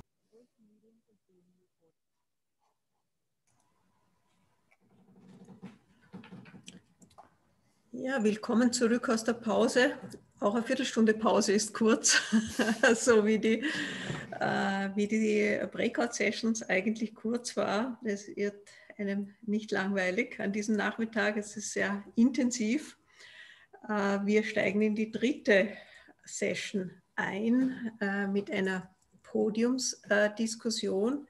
Im Hintergrund laufen auch noch die Vorbereitungen dazu, dass, diese, äh, dass die Ergebnisse oder Diskussionspunkte aus den vorherigen Sessions da gleich eingespielt werden können. Ähm, ich darf gleich bitten, die Leiterinnen der Podiumsdiskussion, Thomas Kiefer und Heidemarie Scharr, äh, ihre Kameras einzuschalten und auch das Pausenbild bitte ausblenden von ja, genau, dass wir wieder alle im Bild sind. Herzlich willkommen. Ja, Thomas Kiefer und Heidemarie Schaar äh, werden diese Podiumdiskussion leiten mit einem ganz spannenden äh, Podium, spannenden Leuten am Podium. Ich darf euch ganz kurz vorstellen, Thomas Kiefer ist Projektassistent am Institut für Mechanik und Werkstoff und Strukturen, hat über den Innovative Brick äh, dissertiert, Resselpreisträger 2020, Gratulation noch, hat, hat er verschwiegen gehabt. Und äh, Heidemarie Scharer ist Senior Lecturer im Forschungsbereich Wasserwirtschaft, Arbeitsschwerpunkt Abwasserreinigung, Ozonung, kommunaler Abwässer, Mikroverunreinigung, ist auch beim Thema beim äh, Umweltingenieurwesen, Studium für Umweltingenieurwesen spielt sie ganz maßgebliche Rolle. Äh, also wieder ganz hm. spannende Perspektiven aus unterschiedlichen äh, Bereichen und ihr habt ein tolles Podium zusammengetrommelt und ich darf euch da jetzt übergeben. Herzlichen Dank. Ähm, ich dürfte als erstes eine Bitte an unsere ähm, Teilnehmerinnen der Diskussionsrunde hätte ich, dass die bitte ihre Stummschaltung aufheben und ihre Kamera kurz zeigen, damit wir bei der Vorstellung wissen, mit wem wir es zu tun haben. Sehr vielen herzlichen Dank. Ähm, ja, und dann, Heidi, darf ich dir überlassen, unsere Diskussionsteilnehmer und Diskussionsteilnehmerinnen einmal bitte kurz vorzustellen. Genau, das mache ich ganz kurz und bündig. Und wenn jemanden noch, jemand noch etwas sagen möchte, bitte gerne. Lady first, leider nicht Ladies first. Ähm, als erstes möchte ich äh, Dragana Damjanovic vorstellen. Sie kommt von der Architektur- und Raumplanung und eigentlich eben vom Forschungsbereich Rechtswissenschaften und befasst sich eben da auch im Bereich mit Umweltrecht und auf EU-Seite mit einigen. Das wird sicherlich noch aufkommen. Jetzt komme ich schon fast ins Schwatzen. Beginnen wir dann auf der Studierendenseite. Das freut mich, weil wir ja auch ein, einige Studierende hier unter den Teilnehmerinnen und Teilnehmern haben. Das ist der Daniel Schams, äh, Welcome, auch aus dem Bereich Architektur und Raumplanung.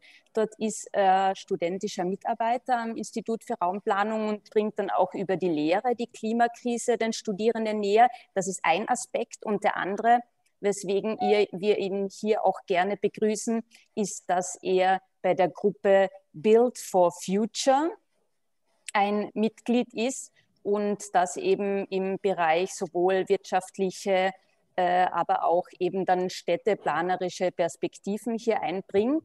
Du kannst dann auch gerne noch äh, einen kurzen Satz dazu sagen, wenn das zu kurz gekommen ist. Dann schaue ich weiter in der Runde Harald Frei. Welcome. Hello. Vom vom Bauingenieurwesen. Konkret jetzt, das ist auch immer wieder vorgekommen, das war heute der Verkehr, also vom Institut für Verkehrswissenschaften, konkret der Forschungsbereich äh, Verkehrsplanung und Verkehrstechnik, eben Mobilität, aber auch dann Strategien, also hat schon einiges gemacht in, in seiner Forschung, was ich gesehen habe. Und last but not least, äh, Walter Dorigo, und Voter Dorigo kenne ich eben zum einen natürlich ganz intensiv über das äh, Studium Umweltingenieurwesen und äh, er kommt vom Department für Geodäsie und Geoinformation und äh, ist hier ein Forschungsbereichsleiter und zwar vom Forschungsbereich Klima- und Umweltfernerkundung.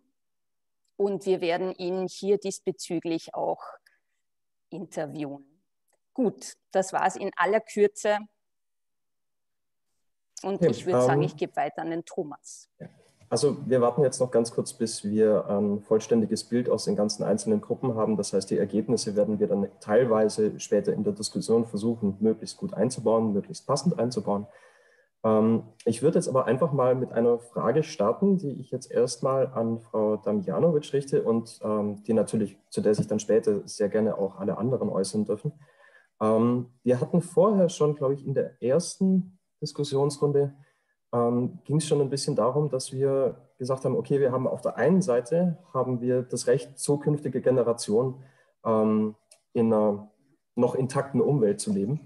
Ähm, und auf der anderen Seite sehen wir aber, dass wir in, mit unserem hohen Grad an Individualismus, den sich unsere Gesellschaft leistet, ähm, die natürlich auch beinhaltet, dass man mit einem 15 Liter Dodge Ram äh, 500, also ein riesiges Auto durch die Stadt brettern darf. Ähm, da ist die Frage, wie geht das eigentlich, wie geht das zusammen? Also wie, wie kommen wir da zu einer Lösung, dass wir sagen, wir haben auf der einen Seite diese individuelle Verantwortung, die aber teilweise offensichtlich nicht wahrgenommen wird und auf der anderen Seite das Recht zukünftiger Generationen, dass wir dann doch noch irgendwie einen Planeten haben, mit dem wir was anfangen können. Ähm, ja, das ist eh schon äh, ganz plakativ, äh, spricht das eigentlich die, die, also die grundlegenden juristischen Fragestellungen der Klimakrise an, nämlich ähm, ähm, einerseits also welche Möglichkeiten der Staat hat, ähm, hier zu gestalten und ähm, ähm, insbesondere was er verbieten kann, also ob er, ob er SUVs zum Beispiel verbieten könnte, wenn es sinnvoll wäre, wie er regulieren kann. Und dann auf der anderen Seite, ähm, wie weit man den Staat auch verpflichten könnte, Maßnahmen zu setzen, Schutzmaßnahmen zu setzen, eben damit eine, eine, eine zukünftige Generation auch noch eine, eine, eine, eine lebenswerte Zukunft vorfindet. Ja. Und da geht es ein bisschen so um die Einklagbarkeit von, von Klimaschutz. Und ähm, unsere Verfassung als unsere Grundordnung des Staates ist, ist schon so aufgebaut, dass die Grundrechte mal primär als Freiheitsrechte gestaltet sind. Das, das, das äh, ist auch damit zu klären aus der Zeit, in der Grundrechte entstanden sind. Da ging es darum, den Einzelnen vor einem übermächtigen Staat zu schützen.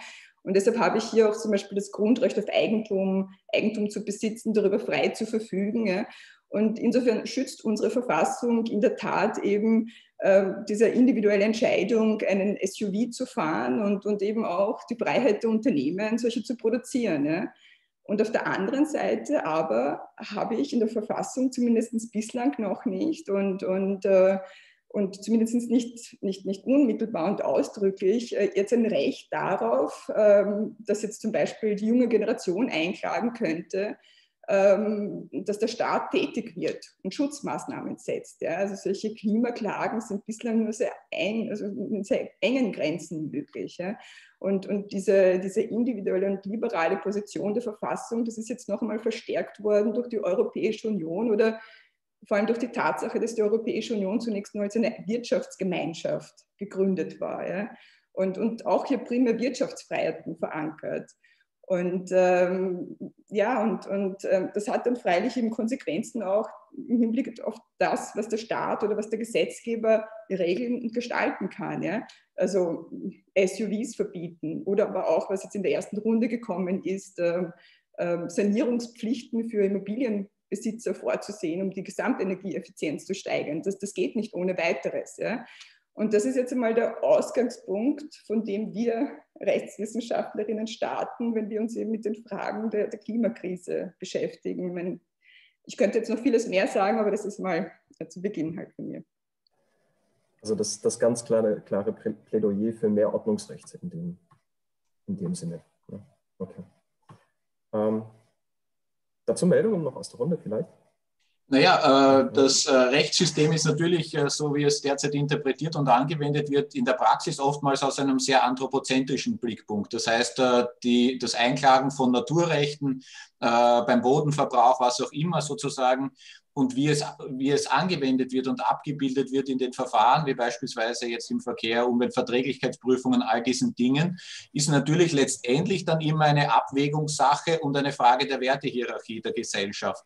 Das heißt, äh, natürlich hat sich in den letzten Jahren schon so eine gewisse Individualisierungstendenz einge schlichen. Das heißt eigentlich in den letzten Jahrzehnten, dass wenn einer anfängt, etwas zum Unwohlsein der Gesellschaft zu machen, und zwar zu, indem er es zu seinem eigenen Vorteil praktiziert, dass man dann irgendwann als Gesellschaft draufkommt, es müssen nur genügend machen, dann können wir es legitimieren, so nach dem Motto. Weil der SUV ist ja nichts anderes. Das sind nicht notwendigerweise immer Gesetzmäßigkeiten, sondern das sind auch Richtlinien, Normen etc. Ein schönes Beispiel. Der SUV, keiner würde sich einen SUV kaufen, würden wir alle Sparbahnen und alle Parkplätze so schmal machen, dass er dort nicht parken kann, sondern beispielsweise nur Autos, wie sie so breit waren in den 70er, 80er Jahren, die auch vier oder fünf Personen transportiert haben.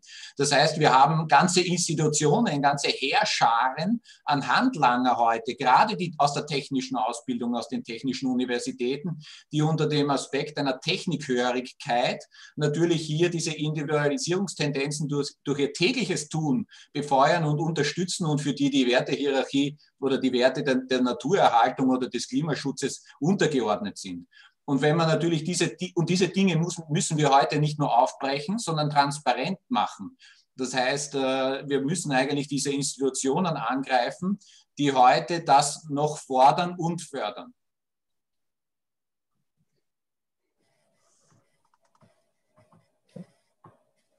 Okay, vielen Dank, Madame. Ähm, da bietet sich jetzt, ähm, wenn der Herr Schams oder der Herr Dorigo sich zu dem Thema direkt anschließen sollen. Ansonsten können wir so ein bisschen in, in Richtung ähm, Politik rüberdriften. Ähm, Herr ähm, Sie haben es eigentlich. Ah, bitte. Im Allgemeinen sehr gerne, schalte mich da nochmal kurz ein. Sehr interessante Punkte, die jetzt hier schon aufgeworfen wurden. Ich finde, man muss ja aber auch gar nicht von dem anthropozänen Fokus weggehen, mal davon abgesehen, dass man argumentieren könnte, dass auch Umweltschutz dann irgendwie ein anthropozänes Anliegen wäre. Aber ähm, wenn man dann irgendwie Diskurs von irgendwie intertemporaler oder intergenerationaler Gerechtigkeit aufgreift, ist das ja auch etwas, was gerade in der Rechtsfrage ein, ein Diskurs wert ist und besprechen werden, besprochen werden muss, was sind Menschenrechte von zukünftigen Generationen, wie kann so etwas verankert werden. Wenn ich darüber nachdenke, wie meine Oma ihr Leben jetzt gerade lebt und wie mein Leben dann ausschauen wird in ähm, 60 Jahren, wenn ich so alt sein werde, werde ich diese selben Dinge machen können. Und wenn man das dann noch eine Generation weiterschiebt, nochmal ganz was anderes. Ob man diesen Menschen intergenerational dieselben Rechte darbietet und gibt, ist da sehr fragwürdig, wenn wir an unserem globalen Handeln momentan nichts ändern. Aber ja, das ist nur ein, ein kurzer Einwurf dazu auch nochmal.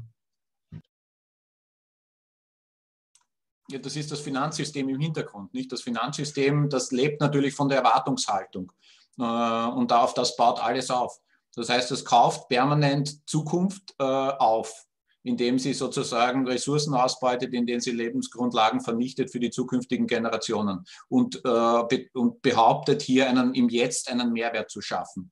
Und das ist das sozusagen das Finanzsystem, das auch noch behauptet, dass natürlich alles durch, mit Geld reparierbar wäre, was natürlich, wie wir wissen, in der Biodiversität nicht so ist. Und das heißt, das dahinterliegende System der globalen Finanzwirtschaft äh, ist natürlich der starke Treiber für diese ganzen globalen Handelsströme und so weiter.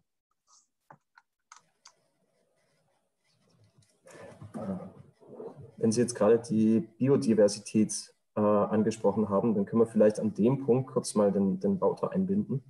Ähm, wir haben ja jetzt, wenn wir uns das Jahr 2020 anschauen, dann hatten wir nicht nur ähm, Corona und sonstige Sachen, sondern wir hatten wir haben auch Waldbrände gesehen, diesmal in, in einem Umfang, ähm, also gerade in Sibirien, gerade in Australien, die, also gab es noch nie, glaube ich, in dem Umfang. Ähm, und da ist jetzt natürlich schon die Frage, also Wouter, ganz kurz, wenn, dein, dein Forschungsgebiet, wenn du das noch schnell erläutern magst. Ähm, aber wir, wir gehen ja von Dürre auf Waldbrand, der noch mehr CO2 raushaut, worauf wir wieder mehr Dürreperioden haben. Oder sehe ich das falsch? Also wo sind wir da gerade eigentlich bei unserer Biodiversität? Also Biodiversität ist eins, äh, Klimawandel und Feuer ist ein, ein zweiter Punkt. Ähm, ja, um mal auf das äh, Thema Wald zu gehen. Ähm, äh, okay. Also das ist, ähm, also ich also ich äh, möchte noch mal ganz kurz erläutern, was wir machen. Wir eigentlich ganz grob zusammengefasst, wir schauen mit Satelliten an, wie sich das Klima verändert. Also wie sich die Welt verändert. Also alles, was wir wahrnehmen können mit Satelliten, das versuchen wir zu, zu monitoren und über längere Zeit zu ähm, beobachten, auch in Regionen, wo wir äh, normalerweise keine Messungen haben. Also wo, wo zum Beispiel, Beispiel Sibirien natürlich. Also wir, wir würden nichts wissen über Sibirien, wenn wir die, unsere Satelliten nicht hätten.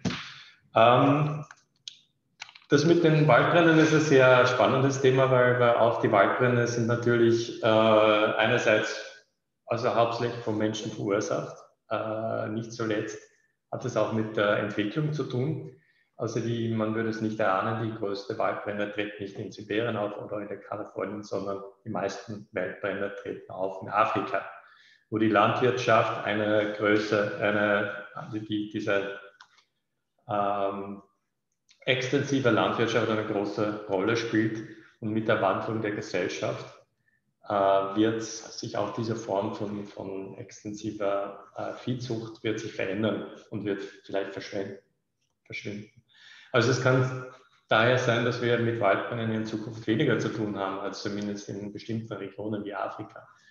Natürlich, ähm, da schließe ich mir auch an den Worten von Harald an, äh, dieser nicht nachhaltige Umgang mit, mit Ressourcen Äh, diese verursachen natürlich auch Waldbrände. Also der, denkt, man denkt ja nur an die Abholzung im Amazonas, wo, wo die Gelegenheit genutzt wird, äh, trockene Episoden, die in manchen, in vielen Regionen häufig werden, zu nutzen, um diese trockene äh, Vegetation, diese trockenen Wälder äh, anzuzünden und zu verbrennen. Und dann, wenn das einmal in Gang gesetzt ist, äh, gibt es keinen Weg zurück mehr.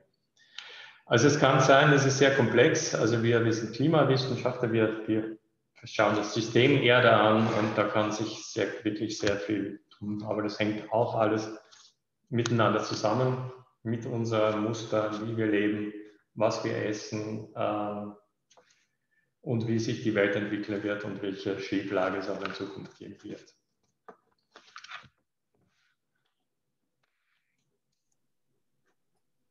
Danke auch, äh, Wouter, für deine, für deine Sicht zu diesen Dingen. Äh, ich äh, erkenne jetzt immer mehr Sachen aus der Diskussion in den Breakout-Sessions und wir haben ja gemeint, die Breakout-Sessions wurden zwar nicht aufgezeichnet, aber in gewisser Weise dann doch insofern, dass die Moderatoren und Moderatorinnen dazu angehalten wurden, drei Schlagworte, die jetzt am potentesten waren, aufzuzeichnen oder uns weiterzuleiten. Und da würde ich jetzt die Lina Karner bitten, da den Bildschirm mit uns zu teilen. Nur, also bitte nicht erschlagen fühlen von zu vielen ähm, virtuellen Post-its. Äh, es geht eigentlich darum, dass wir ein bisschen ein, ein Stimmungsbild aus diesen Breakout-Sessions bekommen. Was äh, ist häufiger gekommen? Ja, also sehr gut, ich sehe es. Das waren unsere Breakout-Sessions. Gut, also man sieht hier wirklich ähm, erste, erste Reihe in der Mitte Individualismus versus Aktionismus, ja, vielleicht nicht ganz das, was wir hatten. Unten aber die Eigenverantwortung, System Change, not Climate Change, das spielt alles eigentlich ganz äh, stark mit rein. Thomas, du kannst auch gerne das äh, aufgreifen, was bei dir kam. Interdisziplinäre Forschung, das ist äh, das. Das heißt, wir müssen uns hier alle zusammentun, wenn wir etwas bewirken wollen und nicht nur in unserem kleinen Fachidioten-Topf köcheln. Weniger Abhängigkeit von Drittmitteln. Okay. Sensibilisierung der Studierenden für Umweltfragen. Ich glaube, das ist äh, auch ganz was Wichtiges, das ja immer wieder kam in Bezug auch auf die Bewusstseinsbildung. Ach ja, und das, ähm, das war in meiner Gruppe die moralischen Werte monetarisieren. Wenn ich das jetzt übersetze, da ging es auch wirklich darum, okay, so ein SUV, der muss halt dann entsprechend viel, viel mehr äh, kosten wenn man sich das dann leisten kann. Die Leute wird es immer noch geben, aber kann man so etwas steuern? Ist das eine Möglichkeit? Fragezeichen. Ja. Thomas, wie tun ähm, wir weiter? Ja, Moment. Also, äh, was, glaube ich, in den Breakout-Sessions äh, relativ deutlich wurde, ist, dass wir insgesamt auf der TU dann schon sehen, ähm, dass wir im Bereich Nach Nachhaltigkeit freundlich ausgedrückt noch ein bisschen was nachzuholen haben. Ähm, ich meine, es, ja, Herr Schams, ich habe es mir schon gedacht. Ähm, das war nur ein, ein Zeichen der Zustimmung. Ähm, so, okay. Ein Applaus in Gebärde. Ja. Ähm, also ich meine, wir haben natürlich schon einzelne äh, unterschiedliche Formate, aber das spielt sich, ähm, und das steht hier auch mit drin, das spielt sich alles noch sehr im, ähm, sage ich jetzt mal, Freifachraum ähm, so durch die Gegend. Ich kann mich erinnern, ich habe, wie ich, wie ich selber noch studiert habe, gab es auch eine Ringvorlesung zum Radfahren. Ähm, das war logischerweise auch nur ein Softskill oder beziehungsweise ein Freifach. Ähm, müssten wir als TU dann nicht einfach viel deutlicher die, die unterschiedlichen Aspekte, wenn wir jetzt auch unsere Verantwortung gegenüber künftigen Generationen wahrnehmen wollen, ähm, viel mehr auf, auf Nachhaltigkeit gehen und viel mehr die Dinge in den Fokus rücken, ähm, mit welchem Impact sie auf unsere Gesellschaft wirken.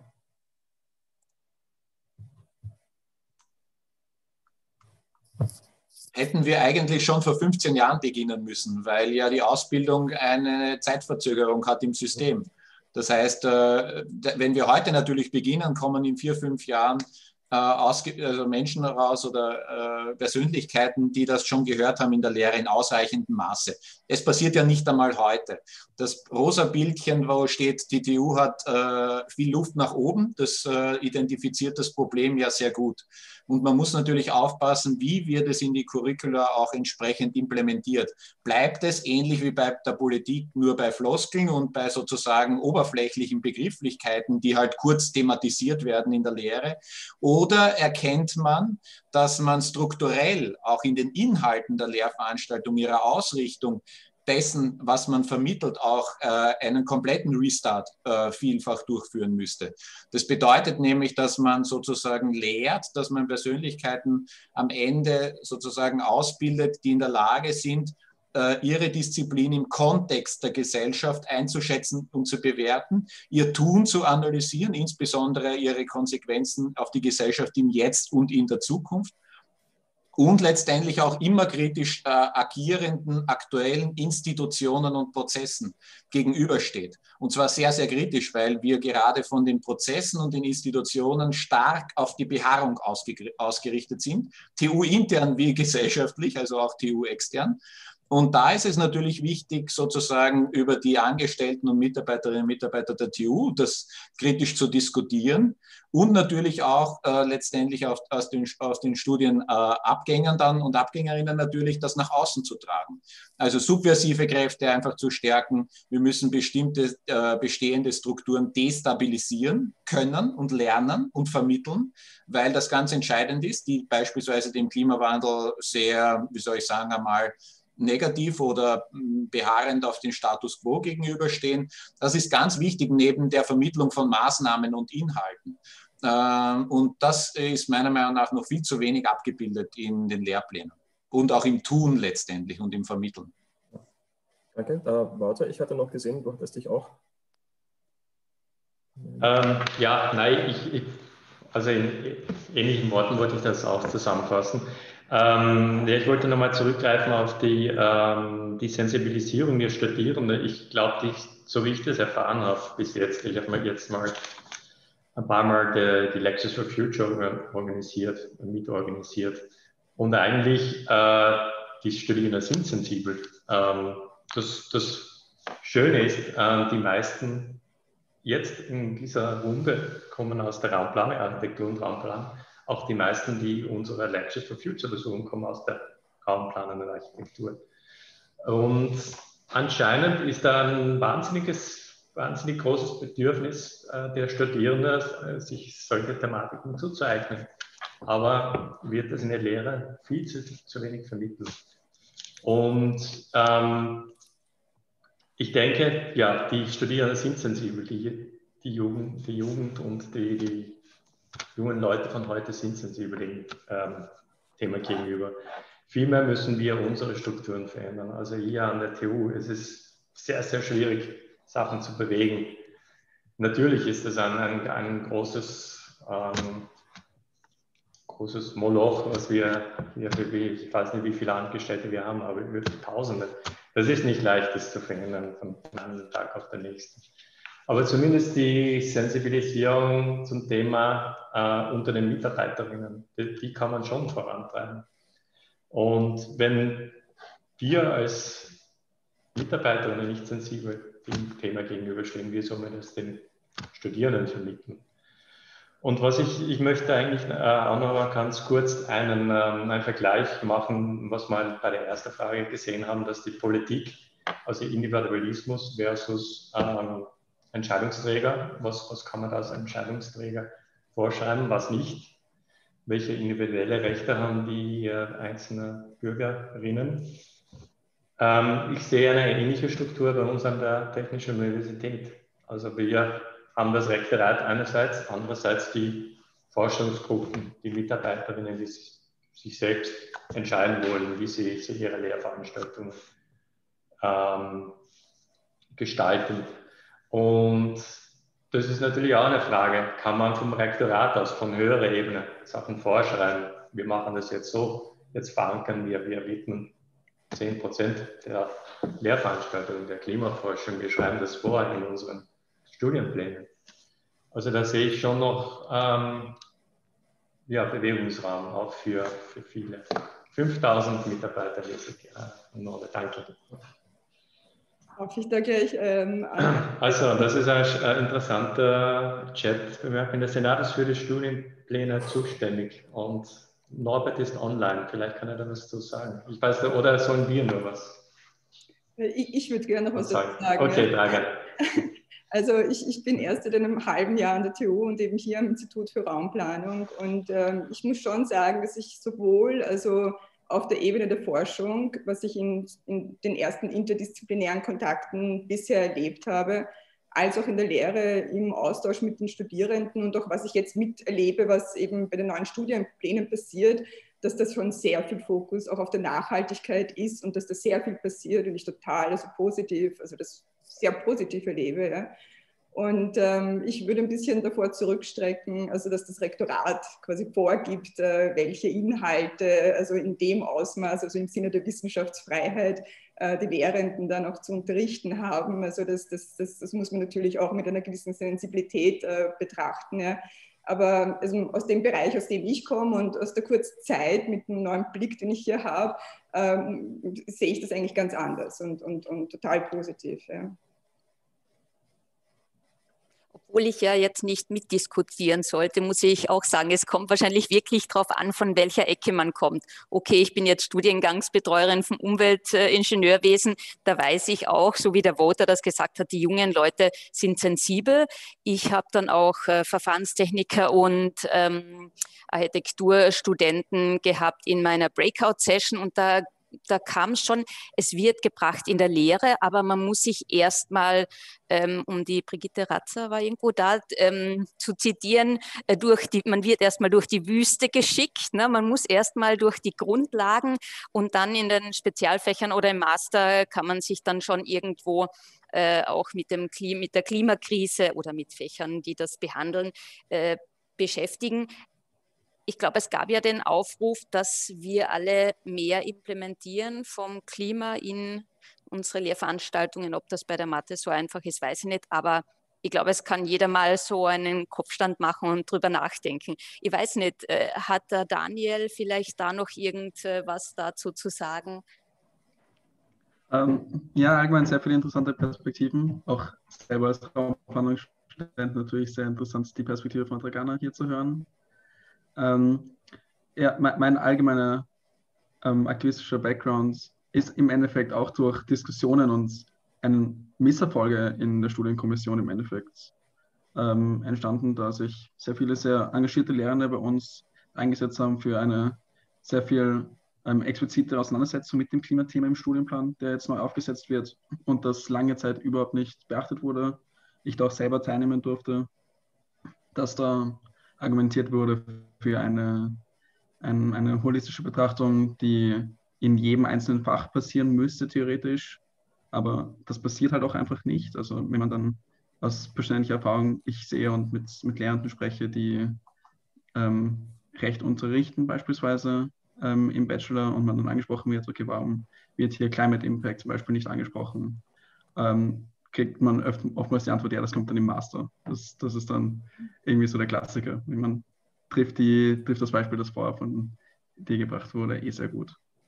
Und aus dem heraus haben dann ähm, motivierte Lernende nochmal eine Lehrveranstaltung auf die Beine gestellt, Plans for Future damals, und hat mich mit sehr vielen anderen Kommilitoninnen und Kommilitonen irgendwo auch noch ermächtigt, da diese Sensibilisierung, die ich schon hatte, nochmal umzusetzen in, in einfach mich in der Lehre zu engagieren, klimapolitisch aktiv zu sein, in Fridays for Future aktiv zu sein und da viel machen zu können.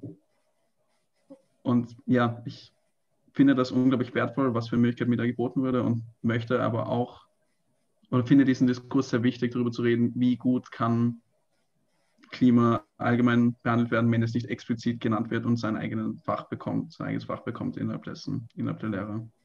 Auch wenn das natürlich nur ein Teil ist der wissenschaftlichen Verantwortung muss man auch dazu sagen, weil wir jetzt die ganze Zeit bei Lehre waren eigentlich.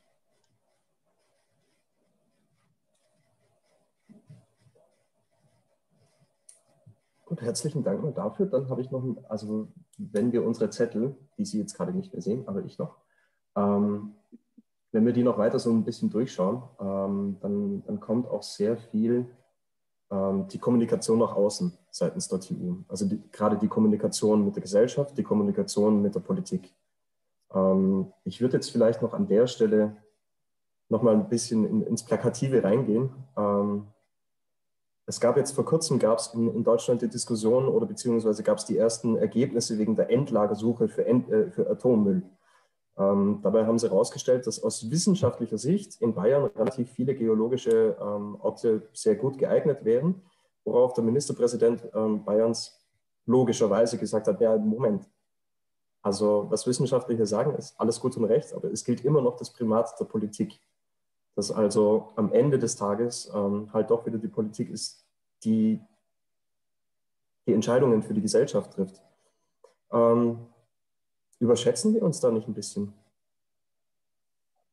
Herr Frey, ich denke an Sie, da kommt so ins Mikro an. Äh, nachdem ich ja viel an der Schnittstelle auch zwischen Planung und Politik natürlich unterwegs bin und nach 15 Jahren Universität muss ich sagen, im Grunde genommen natürlich, wenn wir uns anschauen, wie Wissenschaft in der Wissenschaftsgeschichte immer wieder aufgestellt ist, äh, war oder ist und was Wissenschaft überhaupt ist äh, und wie wir es definieren, natürlich braucht es auch ein, wie soll ich sagen, ein Legitimationstool.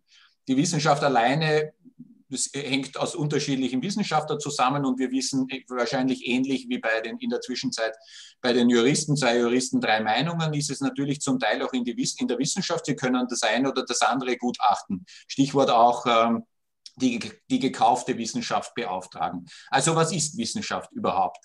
Äh, und gibt es den Wahrheitsbegriff überhaupt? Das heißt, äh, das sind natürlich die urs ursächlichen Fragen. Und dahingehend braucht es natürlich schon ein gesellschaftliches nicht korrektiv, ich würde sagen, eben wie gesagt, eine, Legitim eine Legitim Legitimation letztendlich.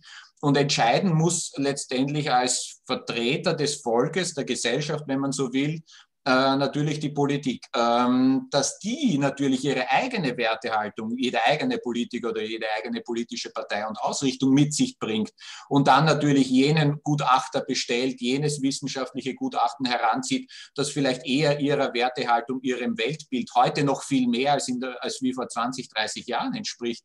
Äh, weil es einfach viel mehr Wissenschaftler gibt auf jedem Niveau äh, und auf, auf jeder Disziplin.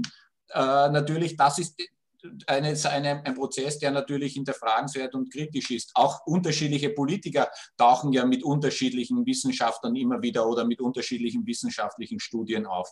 Also äh, insofern ist es natürlich heute nicht so, dass wir sagen können, die Wissenschaft, und dann wird alles gut.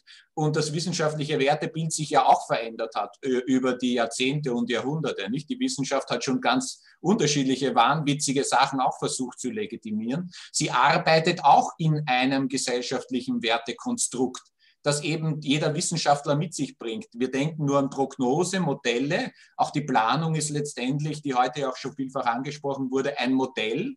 Das heißt, mit der, meiner Erwartungshaltung, mit dem Abbild der Realität, so wie ich die Realität subjektiv wahrnehme, gehe ich natürlich auch mit einem äh, subjektiven und spezifischen Vorurteil, ob wir wollen oder nicht, jeder von uns durch die Welt und damit auch in die Planung. Das heißt, Sie haben es ja jetzt ganz gut gesehen, auch es gab unterschiedlichste Prognosen und Modelle äh, zur Entwicklung von Covid-19. Meine Güte, was Sie da hineinnehmen und wer in der Lage ist, was abzubilden und was nicht hineingenommen wird, hängt immer von der Entscheidung jenes ab, der die Modelle äh, macht. Natürlich, sie müssen falsifiziert, verifiziert werden, sie müssen sich einem Diskurs stellen, sofern sie transparent sind. Aber ja, auch das ist wieder nur in einem gewissen Teil der Gesellschaft äh, möglich.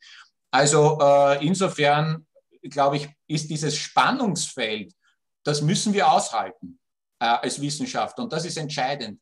Wir müssen auch viel stärker von einer, von einer konsensualen Blickrichtung, das betrifft auch jetzt die Kommunikation, wahrscheinlich stärker auf eine konfrontative wieder gehen. Wir brauchen keine weichgespülte Gesellschaft, sondern wir brauchen eine, die in der Lage ist, sozusagen zu argumentieren, wir brauchen eine, die in der Lage ist zu diskutieren und diese Argumente auch fachlich, äh, charakterlich entsprechend auszuhalten und auszutauschen. Das sind die Skills, die wir mitgeben müssen. Nicht Diskursverweigerung, nicht äh, sozusagen im Winkel verkriechen, wenn man anderer Meinung ist, sondern dahinter stehen und das aushalten. Das ist das, was meiner Meinung nach tragfähige Wissenschaft ausmacht. Die ist nie statisch, die ist immer dynamisch in der Weltgeschichte gewesen. Und das ist, glaube ich, auch gut so. Und das bessere Argument setzt sich dann in der Praxis ohnehin durch. Ja, also ich, ich bin äh, als Juristin natürlich auch der Meinung, dass es äh, die demokratisch legitimierten Verantwortlichen, also die Politiker und die Abgeordneten im Parlament sind, die die Entscheidungen zu treffen haben, wie Gesellschaft zu gestalten ist und wie wir mit dem Klimaschutz umzugehen haben. Ja. Aber wir in der Wissenschaft haben die Verantwortung, natürlich die Grundlagen dazu zu erarbeiten und, und ähm, wie Sie sagen, äh, klarerweise ähm, so objektiv und neutral wie möglich. Und ich glaube, das, was äh, vom, vom, vom Jakob Lederer jetzt äh, in der ersten Runde auch gekommen ist, äh, ich, es ist auch wichtig, Sachen zu sagen, die nicht gehört wollen, also die man nicht hören will. Also weder die Wirtschaft hören will, noch die Politiker hören wollen. Ähm, also zum Beispiel jetzt aus meiner Perspektive als Juristin, so dieses, diese Erhöhung der Wirtschaftsfreiheiten aus dem Eigentumsgrundrecht kommend. Ja, wenn man sich das anschaut in einer historischen Perspektive, ja, das war ja nicht immer so. Das ist etwas, was die Gerichte entwickelt haben, vor allem so in den 80er und 90er Jahren, in der Zeit, wo ja auch dieser, dieser, dieses, dieses neoliberale Denken auch sehr vorherrschend war. Ja? Und, und man, kann, man kann das auch anders sehen, man kann das auch anders lesen und auch anders interpretieren und man hat Möglichkeiten hier also diese Prozesse zum Schutze unseres Klimas auch weiter einzuschränken. Ja? Und zum Beispiel also aus meiner Disziplin, also meine Verantwortung äh, oder die der Rechtswissenschaftlerinnen, das sehe ich darin, diese Möglichkeiten, diese Optionen aufzuzeigen. Entscheiden können wir es freilich nicht, aber auch mit Vehemenz aufzuzeigen und, und eben un, un, unangenehm zu werden und äh, so damit die Politik nicht immer auch diese, diese, diese Rechtfertigung hat, ne, wir können hier gar nicht tun, also die, die Eigentumsgrundrechte, also ich kann da nicht eingreifen und so. Ja. Ähm, darin sehe ich äh, eine, eine, zum Beispiel eine, wesentliche, eine wichtige Aufgabe unserer Disziplin hier. Ähm, ja, kann mich da voll äh, irgendwie auch anschließen natürlich. Ich habe da letztens einen Vortrag von einem Coach im IPCC hören dürfen, der sehr interessant war, mit dem ich ihn zitieren konnte. Ähm, wir WissenschaftlerInnen sind nicht demokratisch legitimiert für irgendwas, was auch ganz klar ist und auch einfach auf der Ebene, auf der ähm, jener Forscher arbeiten darf, der einfach im Weltklimarat arbeiten darf und wo jede einzelne Zeile einfach durchgelesen wird und im Parlament geprüft wird. Da wird dann einfach, ist der Unterschied zwischen Policy Prescriptive versus Policy Relevant dem Arbeiten einfach sehr wichtig, wie das dann geschehen kann, wie kann solche ähm, Abkommen dann überhaupt entstehen. Aber ich finde, all das muss uns nicht daran hindern, innerhalb Forschung, innerhalb Lehre als WissenschaftlerInnen oder Angehende dennoch normativ zu denken und normativ zu sein, in dem Wissen, dass wir subjektive Wesen sind und so fortgehen, dass Planung inhärent etwas Normatives dann auch hat, wenn ich aus der Raumplanung hier sprechen darf, dass ich hier in Systeme eingreife und eine Entscheidung treffen muss oder einfach auch, indem ich ein, eine Prognose aufstelle und dort ein, anhand meiner Werthaltung normativ auswähle, so ist es. Und inwiefern das innerhalb des wissenschaftlichen Feldes oder darüber hinaus mit meiner Expertise meinem Privaten passieren muss und soll, ist eine weitere Frage. Aber dieses, dieses normative Handeln, finde ich, muss etwas sehr Inhärentes und sehr ja, offenkundig Getragenes sein für uns als Wissenschaftlerinnen und Wissenschaftler. Es kam jetzt noch im Chat, ähm, kam jetzt noch ein, ein, ein wichtiger Punkt auch. Ähm, dass natürlich die Wissenschaft die Wahrheit nicht gepachtet hat. Das ist uns, glaube ich, allen hoffentlich bewusst. Ähm, sondern dass sie vielmehr dazu da ist, Fakten aufzuzeigen und die Folgen und Handlungen mit Pros und, und Kontras zu kommunizieren. Und wir hatten jetzt bei der äh, Ivona Brandic, ähm, hatten wir den Punkt, dass sie gemeint hat, also sie macht ja sehr viel Folgenabschätzung oder beziehungsweise sie zeigt auf, wie viel Strom unsere Digitalisierung äh, frisst. Ähm, Vielleicht wäre es dann, also sie hat das eh schon gemacht, aber wenn ich jetzt zurückdenke an die, beispielsweise die Entwicklung von, von neuen Motoren in den letzten, also seit 1990, äh, die sind mit Sicherheit sehr viel effizienter geworden. Ähm, die Gesellschaft hat aber trotzdem irgendwie gleichzeitig gesagt, naja gut, wenn die sehr viel effizienter werden und ich da viel, da kann ich ja viel mehr fahren und ich kann ein viel größeres Auto fahren. Ähm, das heißt, wie bekommen wir diese Folgenabschätzung ähm, unserer eigenen technischen Innovation so in, insofern, also in, in, oder insoweit unter Kontrolle, dass sie auch dann tatsächlich den beabsichtigten Effekt oder Effekt haben? Naja, es orientiert sich an den Rahmenbedingungen, nicht? Das ist eingebettet äh, in einem äh, soziotechnischen System. Also das techn rein technische, jetzt die Antriebstechnologie äh, in Fahrzeugen und so weiter, ist natürlich in einem soziotechnischen System eingebettet, das von Rahmenbedingungen beeinflusst wird, in Treibstoffpreisen, was auch immer. Und wenn natürlich ein Effizienzgewinn sozusagen durch einen Komfortgewinn kompensiert werden kann, indem die Autos größer, breiter werden oder wie auch immer, schon schwerer oder Klimaanlagen dann serienmäßig eingebaut werden, dann sozusagen ist das, weil sich eben an den die Spritpreise real eher billiger werden oder auch tatsächlich billiger geworden sind im Vergleich zu den 70er Jahren, dann ist das ein, eine Erwartens- oder ein Szenario, das man erwarten konnte oder kann. Äh, das heißt, dieses Beachten der Rebound-Effekte ist natürlich nur dann auch nur annähernd möglich oder abzuschätzen, äh, wenn ich weiß, das ist das, was ich vorher mit Kontext gemeint habe, wenn ich weiß, dass ich mein Handeln entsprechend einordnen kann in die gesellschaftlichen Subsysteme und in meine benachbarten Disziplinen. Wenn ich natürlich sozusagen in einem infinitesimal kleinen gesellschaftlichen Ausschnitt arbeite, dann kann ich mir dort alle Rahmenbedingungen aussuchen und den Untersuchungsraum sozusagen so klein machen, dass ich mir die heile Welt zimmere das ist relativ einfach und sozusagen dort nie mich beschäftigen muss mit den Folgen. Das betrifft die gebaute Umwelt genauso oder ein Gebäude, eine Brücke, ein Hochhaus, was auch immer, natürlich wie den, den angesprochenen Motor. Auch das Gebäude steht in einem Kontext, in einem Umfeld. Das hat Auswirkungen auf äh, die Menschen, die es benutzen und so weiter und so fort, auf die Natur. Das heißt, all diese Dinge sind ganz zentral. Es geht nicht mehr um das Ding an sich, sondern um die Wechselwirkung des Dings mit, mit allen anderen Dingen oder mit einem mit viel mehr als in der Vergangenheit äh, beobachtet wurde oder beachtet wurde. Und das, glaube ich, sollte auch viel stärker in der Ausbildung Thema sein. Ja? Dass wir heute technisch Gebäude bauen können, die in die Wolken reichen, dass wir Autos bauen können, wurscht, ob sie mit Verbrennungskraftmotor oder mit Elektromotor fahren, das sind die technischen Disziplinen. Über das brauchen wir heute sozusagen hm, eigentlich nicht mehr diskutieren. Und eigentlich müsste man diese Handlungen ja vielfach auch einstellen, weil wir haben eigentlich schon viel zu viel gebaut.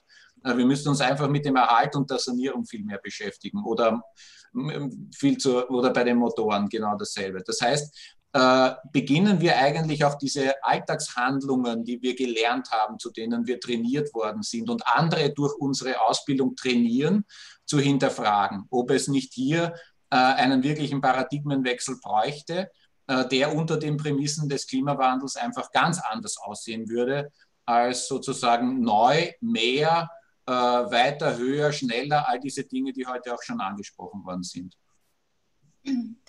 Ähm, also, da möchte ich auch von meiner Seite äh, also ganz kurz ähm, auch äh, Blickwinkel auch ein bisschen auch was anderes lenken.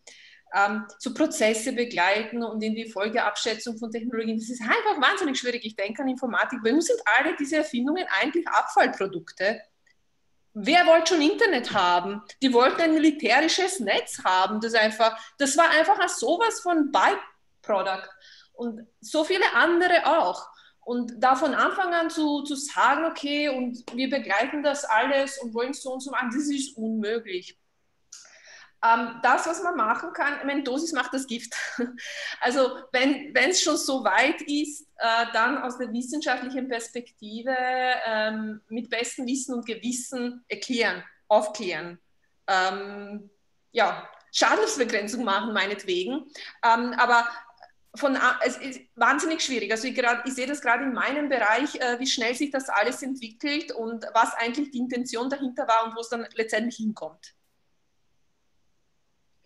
Ähm, mich hat dein Vortrag gewonnen. Ich, ich, ich habe irgendwie, wenn ich äh, so über Smart Cities und diese Versprechen, die da gemacht werden mit äh, die, die innovative Stadt und durch digitale Transformation haben wir die effizienten und die nachhaltigen Städte, dann wird das ja immer irgendwie so automatisch verbunden. Ne? Und, und äh, da sind große Fragezeichen bei mir aufgetaucht. Ja. ja und, und, eben, also dieses, dieses mit, der, mit der KI kann ich Leben retten, mit der KI kann ich vieles machen, mit der KI kann ich Leben zerstören. Also die Frage ist, wie man das einsetzt, ja? wie man das steuert, richtig steuert. Ähm, und das, da sehe ich auch die Aufgabe, auch an den Universitäten, da ähm, Dis Diskurs zu führen. Ja? Ähm, unsere Politiker können sich äh, ihr Wissen am Wirtshaustisch aneignen oder von uns. Und die, also die Herausforderung ist es, wie, wie, wie schaffen wir das, dass sie uns zuhören? Ich glaube, das ist die Herausforderung. Die Antwort ist einfach, wir gehen alle ins Wirtshaus. ja, das, das, ja, ja. Entschuldigung. ja, aber, aber, aber, wir wieder dürfen ist, ist, ist es schon noch eine große, also es, es braucht, glaube ich, schon auch gerade jetzt im Hinblick auf die neuen Technologien mehr Steuerung durch den Staat generell. Also dass wir dieses marktgetriebene, technologiegetriebene in die Richtung steuern, dass es uns als Gesellschaft auch was bringt und eben in diese nachhaltige Schiene geht. Gleichzeitig der Staat, der eben da aufgrund der Komplexität eigentlich total überfordert ist, also, sind, äh, also und da haben wir als Wissenschaft und, und äh, da wird es unbedingt erforderlich sein, eben dieses vernetzte Denken und das interdisziplinäre Arbeiten ja. noch viel, viel weiter zu stärken. Ja. Absolut. Und ich glaube, wo auch äh, im Bereich ähm, Umweltschutz, Klimaschutz, äh, wo die großen Entwicklungen stattfinden werden, ist das Interdisziplinäre. Ja. Äh, wo zwei Wissenschaften ähm, sich zusammenschließen und äh, da etwas Neues äh, produzieren. Und ich glaube, da, da, da steckt sehr viel noch in der Zukunft. Ja? Also dieses, ähm, äh, das eigene Süppchen zu kochen, das werden wir alle machen, das müssen wir machen, aber ähm, mit anderen, äh, über, über das andere Tellerrand hinauszuschauen, ich glaube, das ist das, äh, das Wesentliche dann in der Zukunft. Darf ich dazu noch was sagen? Ähm, also was ich so raushöre, ähm, das System ist so komplex, dass die Politiker das nicht verstehen können.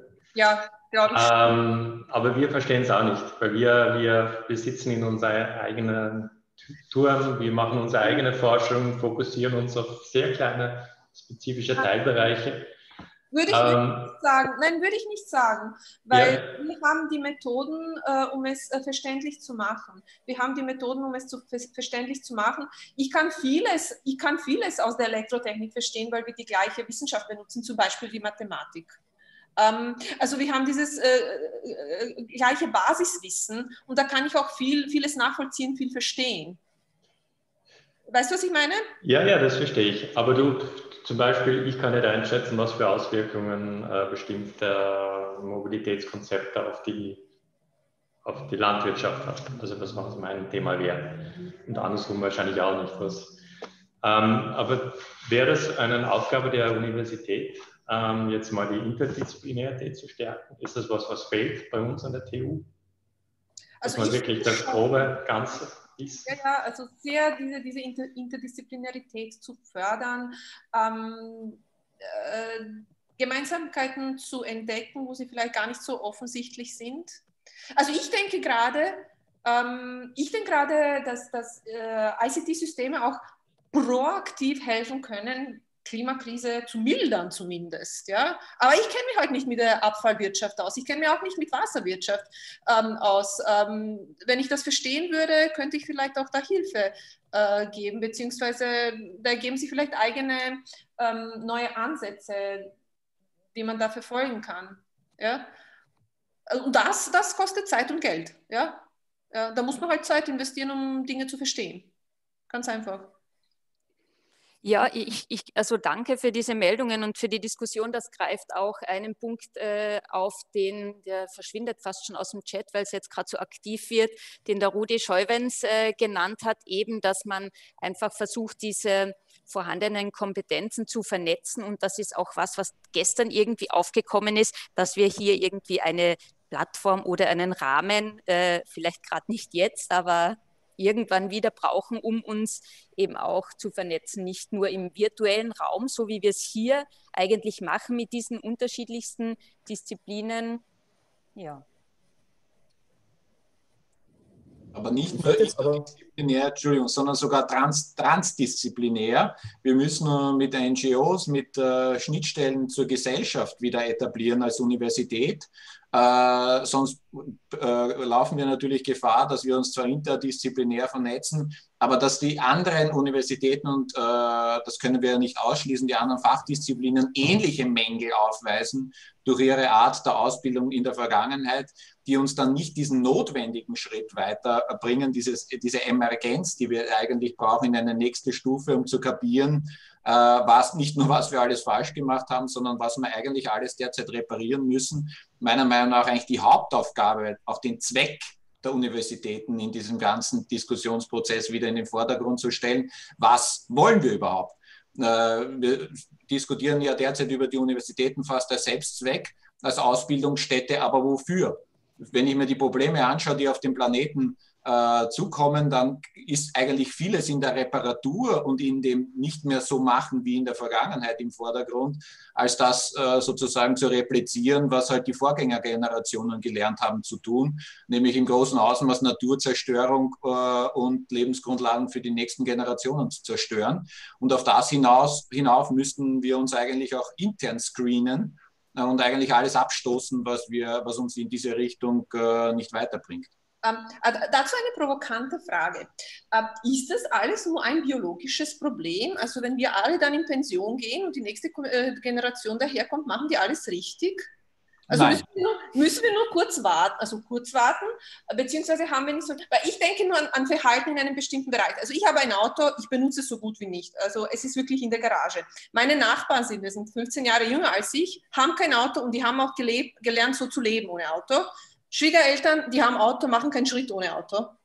Äh, drei Generationen, äh, komplett unterschiedliche Verhalten. Ist es so, wenn die nächste Generation da das macht, was wir jetzt machen, dass es eigentlich schon alles gelöst ist? Provokante Frage, ich weiß es nicht. Ich glaube nicht, weil wenn dem so wäre, äh, dann würde nicht der Energieverbrauch, die CO2-Emissionen und so weiter alles weiter steigen. Wir haben ja ein kaskadisches System aufgebaut, das ist uns, äh, siehe Transportsystem sozusagen von äh, realen zum virtuellen Raum, das Stichwort Internet ist ja schon gefallen, sozusagen uns nicht entfernt hat vom Energieverbrauchslevel oder vom Abhängigkeitslevel, sondern wiederum neue Abhängigkeiten geschaffen hat. Also wir sind ja nicht resilienter geworden im System, sondern ganz im Gegenteil. Man sieht ja jetzt, wie abhängig wir von den ganzen Systemen in der Zwischenzeit geworden sind.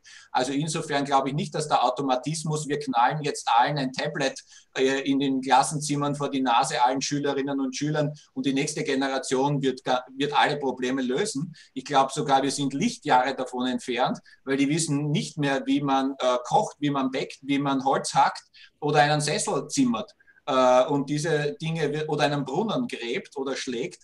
Und das sind wahrscheinlich eher die Skills, die wir in 30, 40, 50 Jahren brauchen werden, als äh, sozusagen das Herumwischen auf einem virtuellen Bildschirm. Okay, ich muss jetzt einschreiten. Ähm, wir sind nämlich, wir wollten heute sehr gut in unserer Zeit drin bleiben. Ähm, Schaffen wir. Wir haben es fast geschafft. Wir haben es fast geschafft. Wir sind absolut auf der Zielgeraden. Ähm, ich würde Ihnen trotzdem, also erstmal vielen, vielen herzlichen Dank für die wirklich wahnsinnig guten Diskussionsbeiträge. Ähm, war klasse, hat mir sehr viel Spaß gemacht. Ähm, ich würde dann vielleicht einfach noch, wenn jemand noch ein, zwei Sätze loswerden will, sehr gern. Ein, zwei Sätze. Aber ansonsten würde ich dann äh, sagen, wir, wir bringen es für heute so langsam zum Ende ähm, und kehren uns alle schön zusammen raus. Mhm. Ähm, jo. Heidi? Waren das jetzt die ein, zwei Sätze, die man noch sagen sollte? Ich habe jetzt glatt den Faden verloren, weil ich nochmal im so. Chat war. Nein, alles, nein, nein, nein, nein, nein. Ähm, fühlen Sie sich frei. Wenn Sie noch ein, zwei Sätze auf Lager haben, dann, dann bitte her damit. Aber ansonsten würde ich sagen. Ein, ein Satz. Ich, ich muss den Bettkopf okay. spielen. Ein Satz. Ein Satz? Okay. Ja. Dann nehme ich einen, einen klugen Satz, der nicht von mir ist. Der ist von Herbert Bartik. Das ist von einer, auch von einer Vorlesung, die von dem Rudi Schäumens, der vorher auch im Chat aktiv organisiert wurde von letztens, der dann sagte, ich kann mir keine demokratische Welt vorstellen, in der wir mit einer 5 Grad plus Erwärmung leben. Und das ist etwas, das hat mal viele mir bewegt. Das ist, worauf wir zusteuern momentan. Und das ist keine Welt, in der ich leben will. In der ich keine Kinder kriegen will. Und ja, das, das wollte ich nochmal zeigen. Ja, im Sinne der zukünftigen Generationen. Harte Ansage, aber sollten alle überlegen. Gibt es noch einen Satz von jemandem, es muss nicht sein? Ich wollte nur sagen, ich, ich habe schon große Hoffnung in die neue Generation und äh, auch wie ich die Studierenden erlebe. Also ich habe einfach die Hoffnung und die stirbt zuletzt. Gut, dann herzlichen Dank. Ja, praktischen, einen praktischen Vorschlag wollte ich noch machen, den ich im Chat gepostet habe. Wie wäre es denn mit einem äh, fachbereichsübergreifenden Doktorandenkolleg an der TU zum Thema Klimawandel, Vermeidung, Adaption, ähm, interdisziplinär? Weil das, die TU hat ja diese Instrumente, dass, äh, wenn man sich ans Rektorat wenden würde. Ja. Wäre das wurde eine gesehen, Idee? Mhm. Wurde gesehen, wurde gesehen, wird mitgenommen. Ähm, es ist ja jetzt nicht so, dass wir heute damit jetzt für alle Zeiten am Ende sind, ähm, sondern wir nehmen die Ergebnisse der gestrigen und der heutigen Diskussion nehmen wir mit. Ähm, da wird es dann, glaube ich, im Jänner eine, äh, wird wieder eine Veranstaltung kommen. Aber da würde ich jetzt dann einfach wieder zurückgeben an ähm, Sibylla Zech und Philipp Thurnherr. Ähm, vielleicht haben die dazu noch ein, zwei Worte. Damit kehre ich mich auch selber raus. Ich bedanke mich nochmal wirklich bei allen Diskussionsteilnehmern. War klasse, hat Spaß gemacht. Danke. Danke auch von mir. Ja, hervorragend. Also ich bedanke mich auch bei äh, Thomas und, und, Heidi für die hervorragende Moderation von der Podiumsdiskussion, auch bei den äh, Teilnehmern und Teilnehmerinnen an der Podiumsdiskussion, überhaupt bei allen äh, Sprecherinnen und Sprechern, die heute äh, bei uns hier einen Beitrag geleistet hatten. Äh, auch ganz herzliche ganz herzlichen Dank möchte ich noch sagen, ähm, jetzt schon einmal, damit das nicht vergessen wird, an unser Technikteam, Lehre Noldner und Lina Kahner, die sich hervorragend im Hintergrund um alles gekümmert haben. Äh, wirklich ganz toll.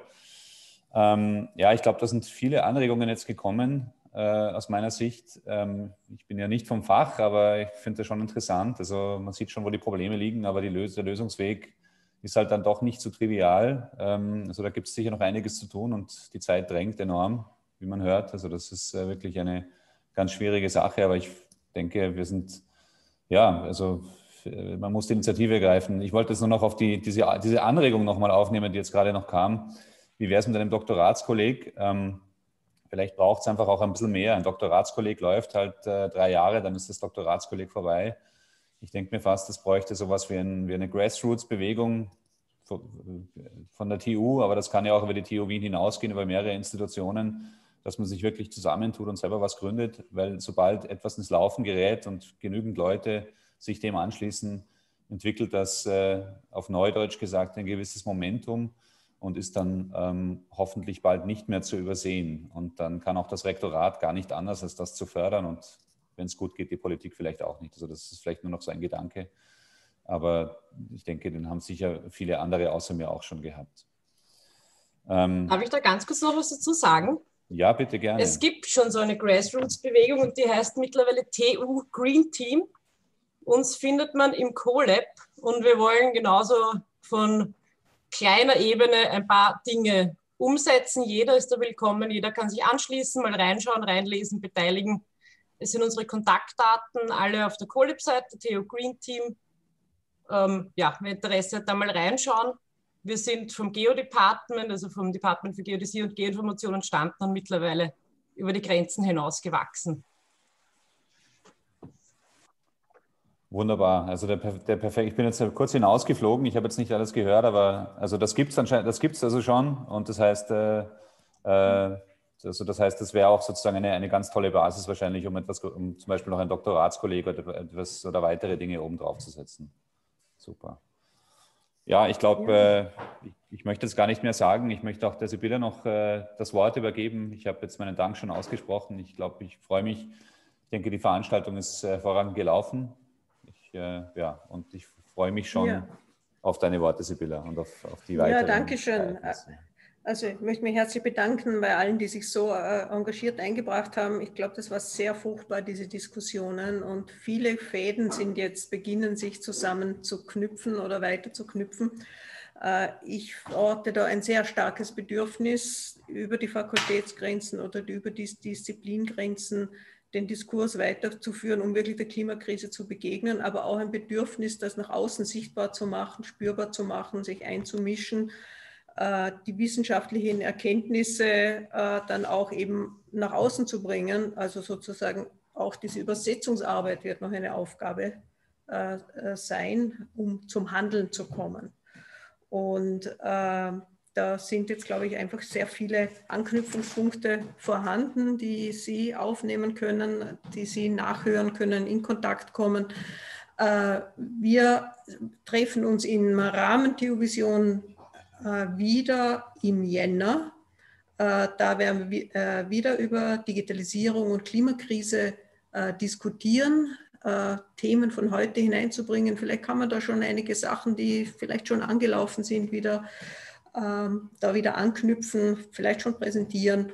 Äh, es wird gehen um die gesellschaftliche Verantwortung einer technischen Universität in Zeiten der digitalen Transformation und Klimakrise. Ja, ich möchte mich herzlich bedanken. Das ist am 20. Jänner, sehen wir uns da wieder und äh, die Aufzeichnung wird ab morgen wird die Aufzeichnung von der heutigen Veranstaltung geben. Ich wünsche einen schönen Abend. Danke, Philipp. Hat Freude gemacht, mit dir die, die Doppelkonferenz zu machen. Danke auch an dich.